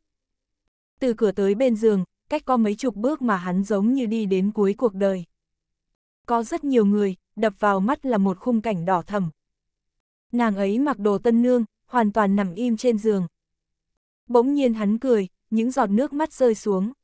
Năm đó, hắn vừa làm xong bộ đồ tân nương, nàng ta liền lập tức mặc thử, xoay một vòng trước mặt hắn, cảnh tượng giống như một con bướm lộng lẫy, ánh mắt hào hứng, vô cùng tâm đắc. Không cho cười, ta có đẹp không? Nàng dẫm lên bông hoa sen, giống như tiên nữ trong mộng. Hắn đưa tay ra, muốn nắm tay nàng, tay dừng ở giữa không trung, nắm được một chút không khí. Có một âm thanh len lỏi trong lòng, nàng ta đã chết rồi, người còn sống làm cái gì nữa. Hắn run rẩy đi lại gần, mộ dung khanh lui ra, thương mai lui ra, cầm chi và Quỳnh Hoa cũng lui ra, vì ánh mắt tuyệt vọng tan vỡ của hắn. Hắn chinh chiến nhiều năm, xa trường hết sức nguy hiểm, hắn mấy lần thoát chết, cũng chỉ vì nghĩ đến một chuyện, nàng ta còn sống, nàng ấy còn sống, hắn làm sao có thể chết được. Hắn lập được chiến công, thúc ngựa chạy rất xa rất xa, ở sa mạc hoang vắng, khắc lên cây dòng chữ tiêu kiêu yêu tráng tráng. Hắn dùng máu của mình thấm lên những chữ đó, đỏ thầm tới chói mắt, buổi chiều tà trên chiến trường là vẻ đẹp bi tráng nhất, nhưng cũng không bằng hai chữ tráng tráng. Lần đó, hắn bị mắc kẹt ở núi Long Đằng, hết sạch lương thực, trong cơn tuyệt vọng, hắn dã đưa 5.000 sát thủ đột nhập vùng thị trấn quan trọng của kẻ địch Man Di, giữa tiếng vũ khí, giao kiếm không dứt, hắn lao vào với quyết tâm liều mạng. Trong trận quyết chiến đổ máu đó, hắn đã giết không biết bao nhiêu kẻ thù, hắn cũng bị bắn trúng một mũi tên ngã quỵ xuống đất, tưởng như phải chết rồi, hắn nhìn con quả bay lượn trên đầu, lấy từ trong ngực ra một chuỗi hạt, rồi quấn một vòng quanh cổ tay, chuỗi hạt đó là tráng tráng tặng cho hắn. Ta đến chùa quan âm xin cho chàng, sau này nhất định phải mang theo bên người, có quan âm Bồ Tát là chỗ dựa vững chắc cho chàng, cái gì cũng không sợ. Khi đó, hắn vẫn là ngự lâm quân ở trong cung. Hắn có rất nhiều. Năm đó, hắn muốn hỏi cưới tráng tráng, hoàng thượng nói với hắn, hắn có thể lấy công chúa, nhưng mà, tiêu ra hắn sẽ bị tước quân hàm, giáng xuống thường dân, sau đó rút lui khỏi kinh thành, từ nay về sau không được vào kinh. Và tráng tráng không còn là công chúa, cũng giống như tiêu gia, chỉ là thường dân, sau này cũng không thể vào kinh gặp người thân của nàng. Sau đó, Hoàng thượng còn nói, ngươi phải bảo vệ tiêu gia, bảo vệ công chúa, nếu như ngươi làm tổn thương công chúa, sẽ gả nàng cho người khác. Hắn nói, vậy được thôi, thần không lấy công chúa, thần cũng không lấy người khác, thần sẽ mãi mãi bảo vệ công chúa. Hoàng thượng trả lời, được thôi, ngươi đi lương quốc bảo vệ công chúa, nếu như ngươi không lấy vợ thì nó cũng sẽ gả cho thái tử lương quốc. Hôm đó, hắn điên cuồng đại náo thư phòng, tất cả đề nghị của Hoàng thượng, hắn đều không đồng ý, sau đó, Hoàng thượng ném cho hắn một bản văn thư, văn thư tố tiêu ra cấu kết với giặc. Hắn biết đó là ngụy tạo, nhưng mà văn thư này, có thể chém đầu mấy trăm người của tiêu gia. Hắn chịu khuất phục rồi. Hắn cưới Hàn Thanh Thu, tiêu gia vẫn là gia tộc vinh quang lừng lẫy, vô cùng oai phong, hoàng đế vẫn là hoàng đế, cao cao tại thượng, từ đây có thể bình chân như vậy. Chỉ có tiêu kiêu hắn và tráng tráng, mất đi trái tim, trôi giạt lênh đênh trên thế giới này. Lòng của họ hướng về nhau, nhưng mà không thể đồng hành cùng nhau. Tổ phụ nói, con là cháu đích tôn của tiêu gia, gánh vác vinh quang của gia tộc, nam tử Hán không có việc gì là không thể làm được, nhưng mà là một người con gái, trên đời này có rất nhiều người xuất sắc hơn công chúa. Nhưng người hắn yêu và người xuất sắc, liên quan gì đến nhau? Hắn chưa từng nghĩ đến vấn đề đó. Hắn đưa bàn tay run rẩy tới gần, nhẹ nhàng vuốt ve khuôn mặt của tráng tráng, mặt nàng rất lạnh, giống như một người chết rồi, hắn đã quá quen với người chết, có vô số người chết trong tay hắn, hắn đã chạm vào rất nhiều xác chết, nhưng không có cái nào khiến hắn đau đớn như thế này. Ăn tức hoàn, không có thuốc giải, hắn ở trong cung nhiều năm, hắn biết, biết rất rõ. Hắn thở phào nhẹ nhõm, tốt rồi, tráng tráng, chúng ta ở bên nhau, cuối cùng chúng ta cũng được ở bên nhau rồi. Mộ Dung Khanh vẫn luôn nhìn hắn, nhìn thấy tay hắn cử động, liền vội vàng lại gần. Nhưng đã quá muộn rồi, một con dao găm đâm vào ngực hắn, máu chảy ra liên tục. Thân là đại tướng quân, bên người luôn mang theo binh khí, con dao găm này là trước đây Thái Hoàng Thái Hậu đã tặng cho tráng tráng, hai cái giống nhau, một cái tặng cho mộ dung khanh, một cái tặng cho tráng tráng, tráng tráng lại đem tặng cho hắn. Mọi người không nghĩ sẽ xảy ra chuyện này, không nghĩ tiêu kiêu sẽ không một chút do dự mà tự sát, muốn được chết cùng tráng tráng. Thương Mai vừa khóc vừa cứu tiêu kiêu. Cầm Chi và Quỳnh Hoa khóc suốt mướt, ba huynh đệ lễ thân vương ở trong phòng, những khuôn mặt có biểu cảm giống nhau, cùng nỗi đau và sự tức giận. Ba vị ngự y và thương mai cứu chữa cho tiêu kiêu, nhưng mà tiêu kiêu quyết tâm muốn chết, hắn biết rõ vị trí tim mình, một dao này, trực tiếp đâm vào nơi đó, gần như xuyên thấu tim phổi. Cô đâm kim châm lên người hắn, muốn đả thông kinh mạch, nhưng cô biết rằng có thể sẽ không thành công, vì máu chảy quá nhanh, với lại, vết đâm cũng rất sâu, trong điều kiện hiện tại thì gần như không thể cứu chữa. Cây kim cuối cùng, cô dùng một cái rất dài, đây là phương pháp châm cứu cầm máu dùng trong phẫu thuật kim châm để chữa trị vết thương, ngoài ra còn có thể phong ấn huyệt đạo và cầm máu, nhưng mà thương mai biết rằng sẽ không qua nổi một giờ. Cuối cùng cô cũng hết cách, chỉ biết đứng nhìn hắn, hơi thở từ từ yếu dần cho đến chết. Thương mai cuối cùng cũng không tìm được mà gào khóc, bàn tay toàn là máu, lau lung tung trên mặt của mình. Hồ Hạnh Nhi cũng đến, ở ngoài cửa nhìn thấy tình cảnh này, im lặng ngồi xuống. Đầu của tiêu kiêu vẫn luôn hướng về phía của tráng tráng, khóe miệng nhếch lên. Tiêu thác và Tô Thanh cũng đã tới, tiêu thác nhìn thấy cảnh này, hồn vía suýt nữa bay ra ngoài, tiếng hét trong cổ họng bị đè xuống, nước mắt từ từ rơi. Không ai nghĩ rằng, trong đêm khuya yên tĩnh lại xảy ra một sự thay đổi lớn như vậy, một người là công chúa của Trấn Quốc, một người là chiến tướng phi ngựa trên chiến trường tiêu diệt vô số kẻ thù, đã chút hơi thở cuối cùng của cuộc đời ở đây. Mộ Dung Khanh bỗng nhiên nhớ tới một người, vội vàng lao ra ngoài, Hồ Hạnh Nhi. Hạnh Nhi chạy nhanh như bay, vươn mình lên ngựa, điên cuồng thúc ngựa, lao vụt ra ngoài. chương 343, đưa Tiêu Kiều đi. Khoảng hơn nửa canh giờ trôi qua, một chiếc xe ngựa dừng bên ngoài phủ công chúa. Hồ Hạnh Nhi cùng với một người đàn ông mặc áo choàng chim ưng dẫn theo một ông già mặc áo choàng màu xám bước vào, phía sau người già còn có một cậu bé mập mạp bị gãy một cái răng. Ba người trực tiếp tiến vào phòng ngủ của công chúa, Thương Mai ngẩng đầu lên nhìn, chỉ cảm thấy người đàn ông mặc áo choàng chim ưng đó rất quen thuộc, đột nhiên nhớ tới khi cô thành thân, bị một người mang ra ngoài thành, còn bị mắc kẹt trong vũng lầy, có người nào đó cứ không ngừng lấy cành cây chọc vào đầu cô. Người mặc áo đen đó, là người đàn ông mặc áo choàng chim ưng trước mặt, cô nhận ra, nhận ra đôi mắt này. Tất cả mọi người đều lui ra, không phải vì người đàn ông mặc áo choàng chim ưng, mà là vì lão già này. Trong miệng ông ta ngậm cái tàu thuốc, trực tiếp đi tới bên cạnh tiêu kiêu, nhìn một cái, lại quay đầu nhìn thương mai, thuật kim châm. Thương mai nín thở đáp, phải. Ông già nhà tàu thuốc, đưa cho đứa bé mập mạp, tiểu tử mập, đưa kim châm của ta qua đây. Cậu nhóc mập lấy từ trong túi đeo ra một chiếc bọc kim châm đưa cho lão già. Mọi người đều nhìn ông ta, nhìn ông ta lấy từ trong bọc kim ra một cây kim châm, kim châm này rất dài, còn dài hơn cả ngón tay, có màu sắc kỳ lạ, trong màu vàng để lộ ra hàn khí, nhưng cái kim này không thẳng, phần đuôi đánh dấu. Mọi người đều không biết tại sao cây kim này lại kỳ quái như vậy, chỉ có thương mai, cô từng đọc thuật kim châm, ở trang cuối cùng của thuật kim châm viết có một thuật kim châm có một loại là kim móc, người có thể móc được, là người rất thông thạo thuật kim châm. Trái tim thương mai đập rất nhanh, ông ta không lẽ là người nghiên cứu ra thuật kim châm. Không, ôn yến là nữ, không phải là nam. Cô nhìn Hồ Hạnh Nhi, nhìn thấy mộ dung khanh gọi Hồ Hạnh Nhi đi tìm người đàn ông này đến, chẳng lẽ Hồ Hạnh Nhi và ông ta có mối quan hệ gì? Lão già này, là người như thế nào?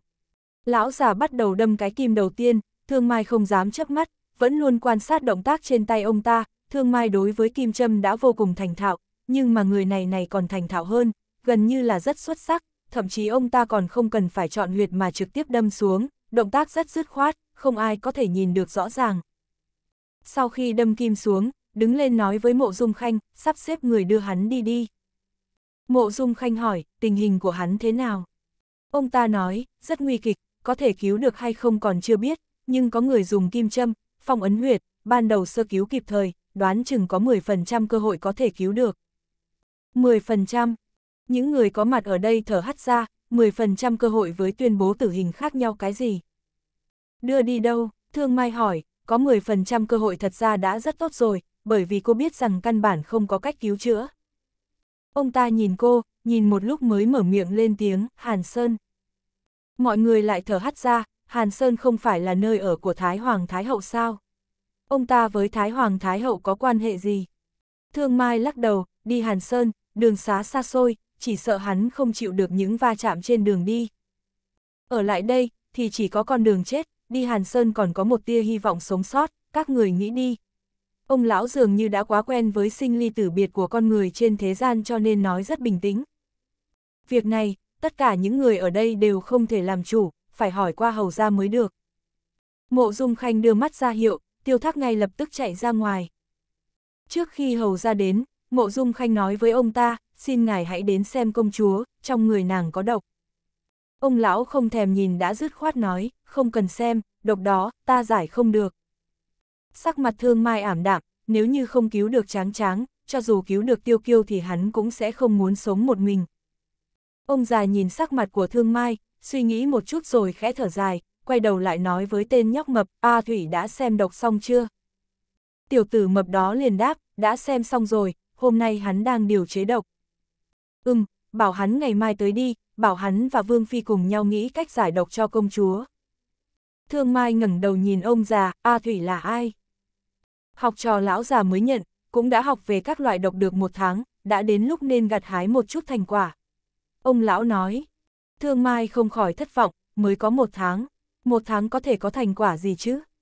Cô nghĩ ông già này cũng chỉ là đang qua loa với cô thôi. Trước khi tiêu hầu ra đến, An Nhiên Vương ra lại châm cho tiêu kiêu một kim, cho tiêu kiêu uống một viên thuốc, một viên thuốc màu đỏ, mùi hương có chút kỳ lạ, sau khi uống xong, thân thể tiêu kiêu lạnh như băng. Tiêu hầu ra lảo đảo bước vào, đi cùng còn có phụ thân và mẫu thân trương thị của tiêu kiêu, ngoài ra còn có một số người của tiêu gia đang đứng bên ngoài mà không vào. Tiêu hầu ra nhìn thấy tiêu kiêu và tráng tráng, lầm nhầm trong miệng, trời ơi, lão phu đã tạo nghiệp gì sao? Tiêu thác đỡ lấy ông ta, cũng không nói nên lời. Trương thị khủy xuống, trên đường tới đây, hình như đã khóc rất nhiều.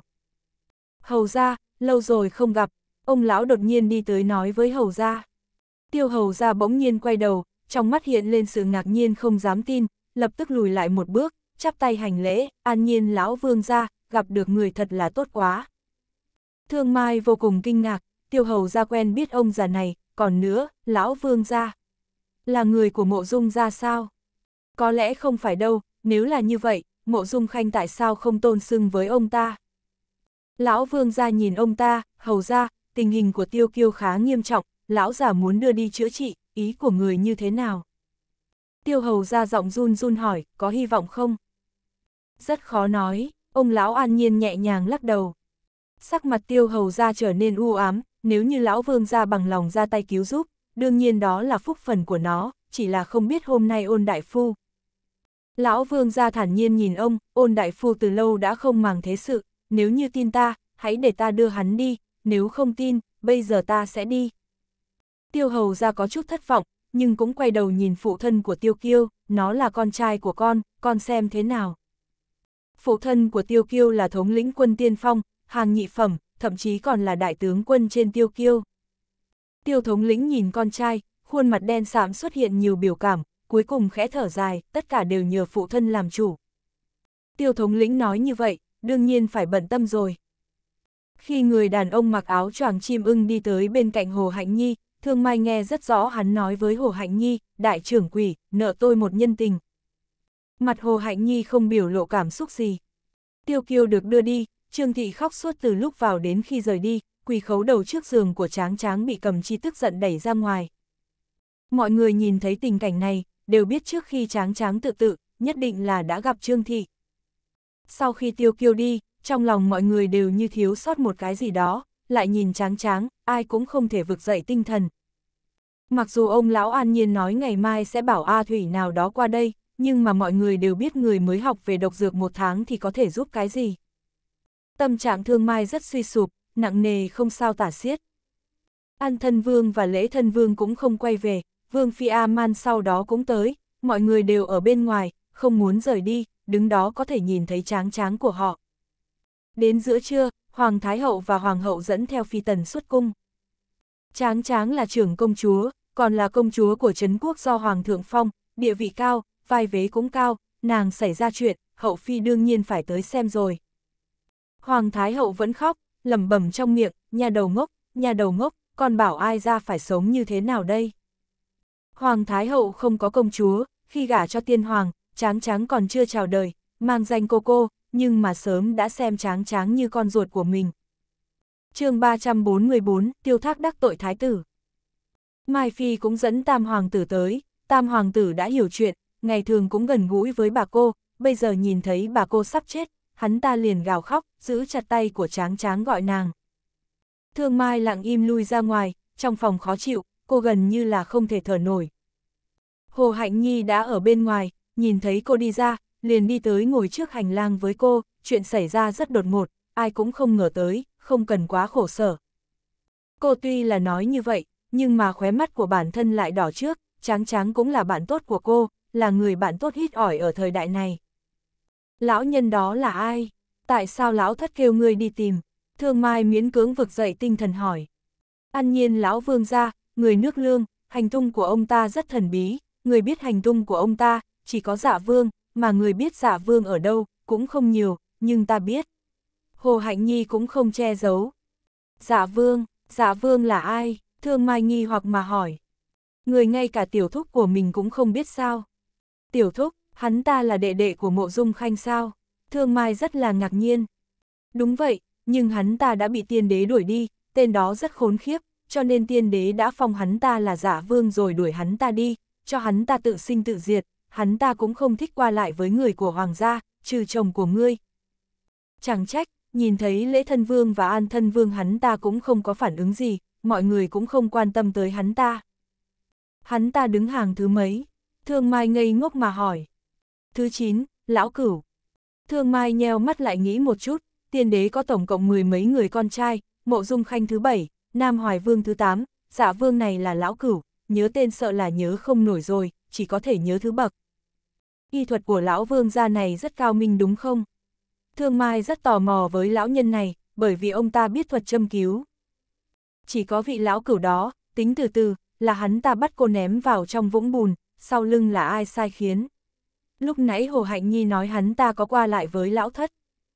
Hai, nhưng mà bây giờ cũng không có tâm trí nghĩ mấy cái này. Ông ta thật sự là truyền nhân của ôn yến, cũng là truyền nhân của thuật châm cứu, nếu như ngươi muốn theo ông ấy học, có thể kêu giả vương tiến cử ngươi. Trong lòng thương mai khẽ động một cái, ông ta sẽ nhận ta sao? Ông ta và giả vương là huynh đệ kết nghĩa, lời giả vương nói, ông ta đều nghe. Hồ Hạnh Nhi thản nhiên nói. Thương Mai than nhẹ một tiếng, nhưng mà, ông ta cũng không có cách nào cứu tráng tráng. Hồ Hạnh Nhi trầm mặc không nói, vành mắt từ từ đỏ lên. Thương Mai thấy nàng cũng đã ở đây rất lâu rồi, liền nói, ngươi về trước đi, ngươi cũng rất bận, có tin tức gì ta sẽ nói với ngươi. Không được, Hồ Hạnh Nhi có vẻ thất hồn lạc phách, trông coi ở đây một chút đi, dù sao trở về thì tâm trí cũng không yên, tráng tráng, trước khi ta quen biết ngươi, nàng là người bạn duy nhất của ta ở đây, ta không thể đi như vậy, âm cuối của nàng ta nghẹn ngào, liền không nói nữa. Hai người tựa vào nhau, cõi lòng tan nát tới mức không thể nói ra. Hai người xuyên không ngàn năm, từng bàng hoàng bất lực, từng đau lòng tuyệt vọng, từng bị ức hiếp sỉ nhục vô cùng, là tráng tráng đứng ra giúp đỡ họ, nhưng mà, nữ tử tốt bụng đó, bây giờ đang ở trên lằn danh sống chết. Thương Mai, ta không tin Phật, Hồ Hạnh Nhi đột nhiên quay đầu nhìn cô. Thương Mai trầm mặc chốc lát, ta cũng không tin. Hai người đồng thời đứng dậy, quỳ trên đất. Phủ công chúa từ trước đến giờ chưa từng náo nhiệt như hôm nay, hoàng thân quốc thích, đại thần trong triều, mệnh phụ phu nhân, nối đuôi nhau mà đến. Trần Thái Quân và Thôi Thái Phi, Cần Thái Phi cùng nhau đến, Trần Thái Quân nhìn tráng tráng, thê lương mà lắc đầu, đứa bé này thật là đáng thương. Tất cả mọi người bây giờ đều cảm thấy tráng tráng đáng thương, nhưng mà, trước khi nàng tự sát, có ai từng hỏi qua trong lòng nàng có khó chịu hay không? Mộ Dung Khanh khuyên Hoàng Thái Hậu đi xong, Hậu Phi tự nhiên cũng đi theo, Hoàng Thái Hậu khóc đến nỗi hai mắt sưng lên, hai chân đi đường cũng nhũn ra, là được Hoàng Hậu và Mai Phi diều trở về. Những người như Hồ Hạnh Nhi và Tô Thanh, tiêu thác trông coi ở trong viện, ngự y và an thân vương lễ thân vương ở ngoại thất. Thương Mai và Mộ Dung Khanh trông coi ở bên trong. Mộ Dung Khanh hôm nay không có nói gì cả, sau khi tất cả mọi người rời đi, hắn hỏi Cầm Chi Trương Thị có đến không? Cầm Chi đem chuyện Trương Thi đến phủ công chúa, đã nói cái gì vân vân nói hết cho Mộ Dung Khanh. Mộ Dung Khanh dương con mắt u ám lên, tiêu ra sợ hãi như vậy, thậm chí không tiếc kêu Trương Thị đến đây cảnh cáo tráng tráng, có thể thấy đe dọa của Hoàng thượng đối với tiêu gia ngày hôm đó rất nghiêm trọng. Hắn đứng dậy, thương mai, nàng trông coi ở đây, bổn vương vào cung. Người muốn gặp Hoàng thượng, Hoàng thượng không phải hôn mê rồi sao? Thương mai hỏi. Mộ dung khanh lạnh lẽo nói, hắn cũng có lúc tỉnh, bổn vương không muốn đợi nữa, nhất định phải biết toàn bộ sự việc. Được rồi, người đi đi, bây giờ khoảng cách đến chân tướng chỉ còn một bước, sự việc rất rõ ràng, là Hoàng thượng làm, nhưng mà lại không biết lúc đó Hoàng thượng uy hiếp tiêu ra như thế nào, làm thế nào khiến cho tiêu kiêu đau khổ chịu đựng 11 năm cũng không dám qua lại với tráng tráng. Thái tử và Nghi Phi cũng đã đến, thái tử đi vào nhìn một cái, cũng hờ hững mà nhìn Thương Mai một cái, hỏi Trấn Quốc công chúa như thế nào. Thương Mai dương mắt nhìn hắn ta, hắn ta hiển nhiên không có lo lắng chút nào, chỉ là nhận lệnh mà đến nhìn một chút, công chúa rất khỏe, thái tử có lòng rồi. Rất khỏe, mẫu hậu nói nàng ta sắp chết rồi, thái tử hừ lạnh nói. Nghi phi thở dài một tiếng, điện hạ không cần nói bậy, công chúa sẽ cắt nhân thiên tướng. Thương Mai mặc dù cảm thấy ngạc nhiên với sự ngang nhiên ra vào cùng nhau của hai người, nhưng mà nghĩ một chút cũng không phải không thích hợp, dù sao thì người bên ngoài cũng không biết chuyện của họ. Không có việc gì thì tốt, dù sao bổn vương cũng đã đến thăm, sau này này hoàng tổ mẫu có hỏi, thì nói bổn vương đã từng đến là được. Thái tử nói xong, lạnh lùng rời đi.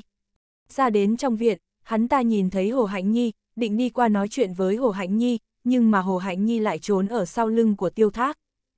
Hắn ta cực kỳ không vui, nhớ đến lời Nhi Phi nói, có lẽ tất cả đều là kế sách của Hồ Hạnh Nhi, là nàng không muốn gả cho hắn ta, liền thuận theo âm mưu quỷ kế của con tiện nhân hạ oanh nhiễm thiết kế. Bây giờ nhìn thấy Hồ Hạnh Nhi tận lực né tránh, liền nhận định cách nghĩ này, hắn ta lập tức bước nhanh qua, lạnh lùng nói, Hồ Hạnh Nhi. Hồ Hạnh Nhi cúi chào, tham kiến thái tử điện hạ. Nàng không cần giả mù sa mưa, bổn cung hỏi nàng, nàng vì sao trốn bổn cung. Hồ Hạnh Nhi sợ run, chuyện này, dân nữ không có. Không có, nàng dám nói nàng không phải là đang trốn bổn cung. Thái tử nheo mắt lại. Không có, Hồ Hạnh Nhi nói. Được, nếu như không có nàng bây giờ đi ra ngoài với bổn cung, bổn cung dẫn nàng đi dạo chơi. Thái tử liền tiến lên kéo cánh tay của nàng. Tiêu thác vươn tay ngăn lại, ồm ồm mà nói, điện hạ, công chúa ở bên trong vẫn còn chưa biết sống chết, người đã muốn ở đây gây sự, làm như vậy có phải quá đáng rồi sao?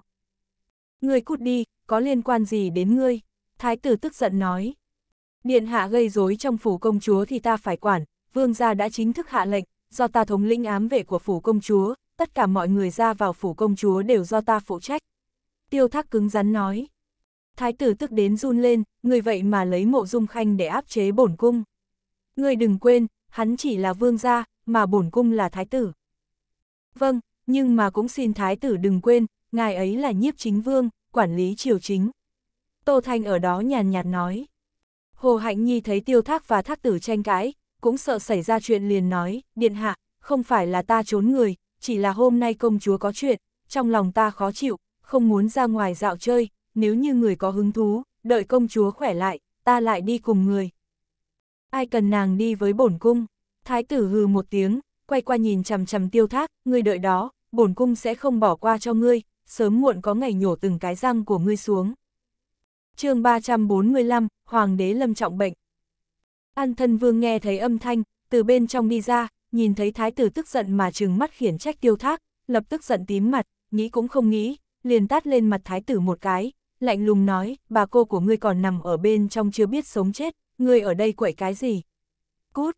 Thái tử trước nay chưa từng thấy qua an thân vương giận như vậy, càng chưa từng nghĩ tới an thân vương sẽ động thủ đánh hắn hơn nữa còn ở trước mặt của Hồ Hạnh Nhi và Tiêu Thác, Tô Thanh, chuyện này đối với hắn mà nói là vô cùng nhục nhã. An thân vương sớm đã không quan tâm chuyện trong triều, hơn nữa cũng rất ít qua lại với thái tử, thái tử bình thường cũng không coi trọng ông ta, bây giờ ăn một cái tát của ông ta, sao có thể bằng lòng bỏ qua, xoa mặt một cái rồi nhìn an thân vương một cách thù hận, giỏi lắm, mộ dung tử, bổn cung sẽ bẩm báo mẫu hậu, một cái tát này, bổn cung cũng nhớ kỹ. An thân vương lạnh lùng nói, ngươi còn không đi, bổn vương liền đánh gãy chân của ngươi. Nhi phi không có ấu trĩ ngu xuẩn như thái tử, nàng ta biết sự lợi hại của an thân vương, liền nói với thái tử, điện hạ, chúng ta đi trước đi, công chúa xảy ra chuyện, tâm tình của mọi người đều không tốt, hoàng hậu nương nương kêu người đến thăm công chúa, bây giờ cũng thăm xong rồi, đi thôi. Nàng ta cố ý vô tình mà nhắc đến hoàng hậu, thật ra là muốn cảnh cáo an thân vương đừng quá láo xược. Mặt mày của an thân vương lạnh lẽo, nhìn chằm chằm thái tử đến khi hắn ta tức tối rời đi. Hồ Hạnh Nhi không ngờ rằng cuối cùng quậy thành như vậy, cô vô cùng phiền muộn, hơn nữa nàng biết thái tử rất nhỏ nhen, hẳn là sẽ không dễ dàng bỏ qua cho tiêu thác như vậy. Tiêu thác lại là người ngay thẳng. Sau khi mộ dung khanh vào cung, liền trực tiếp vào hy vi cung. Lộ công công và bao công công đều cản không được, hắn nổi trận lôi đình, đuổi hết tất cả công nhân và ngự y ra ngoài. Xông thẳng vào tầm điện, nhấc lên màn trướng vừa dày vừa nặng, đứng bên giường. Âm thanh của hắn lạnh như băng nói, ta biết ngươi đang tỉnh, ta chỉ muốn biết, 11 năm trước, người uy hiếp tiêu kiêu như thế nào. Người trên giường trầm mặc, thật lâu sau, mới truyền đến âm thanh thản nhiên không hờn giận, lão thất à, chấm cho ngươi đặc quyền này, nhưng mà không phải là dùng để tự tiện xông vào cung điện của chấm. Âm thanh của mộ dung khanh lạnh lẽo, hoàng thượng hẳn là biết tính tình của thần đệ, coi như là thần đệ không phải là nhiếp chính vương, cũng sẽ xông vào như vậy. Sự tùy hứng của ngươi, ông ta thở dài một hơi, đều là do chấm nuông chiều mà ra, người biết thì như thế nào. Chuyện cũng đã qua rồi, tiểu cô cô có thể chịu đựng được, 11 năm trước nàng ấy cũng chịu đựng được. Nàng đã uống an tức hoàn, mặc lên giá y, mắt mộ dung khanh đỏ lên, nhìn chằm chằm người trên giường. Vẻ mặt của người đó trở nên hoảng sợ, con mắt gần như nhô ra, hai tay của hắn ta nắm chặt cái chăn, không phát ra một tiếng. Thật lâu sau hắn ta nhắm mắt lại, chấm thẹn với nàng ấy. Nàng ấy vẫn luôn cho rằng, người rất tốt với nàng ấy, là thật lòng. Mộ Dung Khanh nhìn chằm chằm ông ấy, vì sao phải làm như vậy? Hoàng đế trầm mặc một lúc, người bây giờ đã là nhiếp chính vương, chẳng lẽ cũng không biết tại sao sao?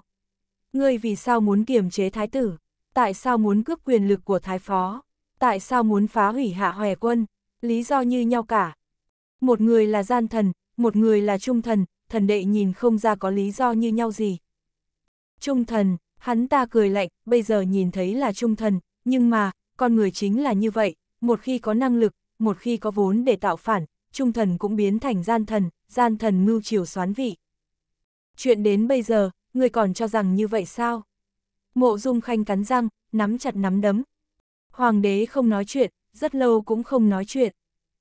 Mộ dung khanh đấm một quyền lên trên giường, giường gỗ đàn hương bị hắn đánh ra một lỗ thủng, mờ u bàn tay của hắn máu tươi chảy ròng ròng, hắn vẫn không để ý, cúi đầu giống một tiếng, nói đi. Hoàng đế nhắm mắt lại, người đi đi, thời gian của chấm không còn nhiều nữa, người đừng ép chấm, nếu như chấm thật sự không đúng, sau khi xuống suối vàng sẽ nhận sai nói xin lỗi với tiểu cô cô. Mộ Dung Khanh nhìn hắn ta, người có phải dùng tội thông đồng với địch phản quốc để uy hiếp tiêu kiêu? Hoàng đế cười lạnh, người đã biết, cần gì đến hỏi chấm. Xem ra tiêu kiêu đã nói với ngươi rồi. Tiêu kiêu không nói gì cả, sau khi tiểu cô cô uống thuốc, hắn ta cũng đã tự sát, đâm một đao vào trong tim, tàn nhẫn đến mức không chừa một đường lui. Hoàng đế kinh ngạc nhìn hắn, khuôn mặt che kín vết lốm đốm màu đỏ có một loại cảm xúc cổ quái, khuôn mặt tươi cười của hắn ta từ từ mất đi, một nụ cười còn khó coi hơn cả khóc, tốt lắm, bọn họ cuối cùng cũng ở bên nhau rồi. Mộ Dung Khanh vẫn luôn nhìn chằm chằm hắn ta, thật không ngờ rằng, nhiều chuyện như vậy, thật không ngờ. Không ngờ rằng hắn ta tàn nhẫn như vậy, không ngờ rằng hắn ta vì củng cố đế vị, lại lựa chọn hy sinh hạnh phúc của tiểu cô cô.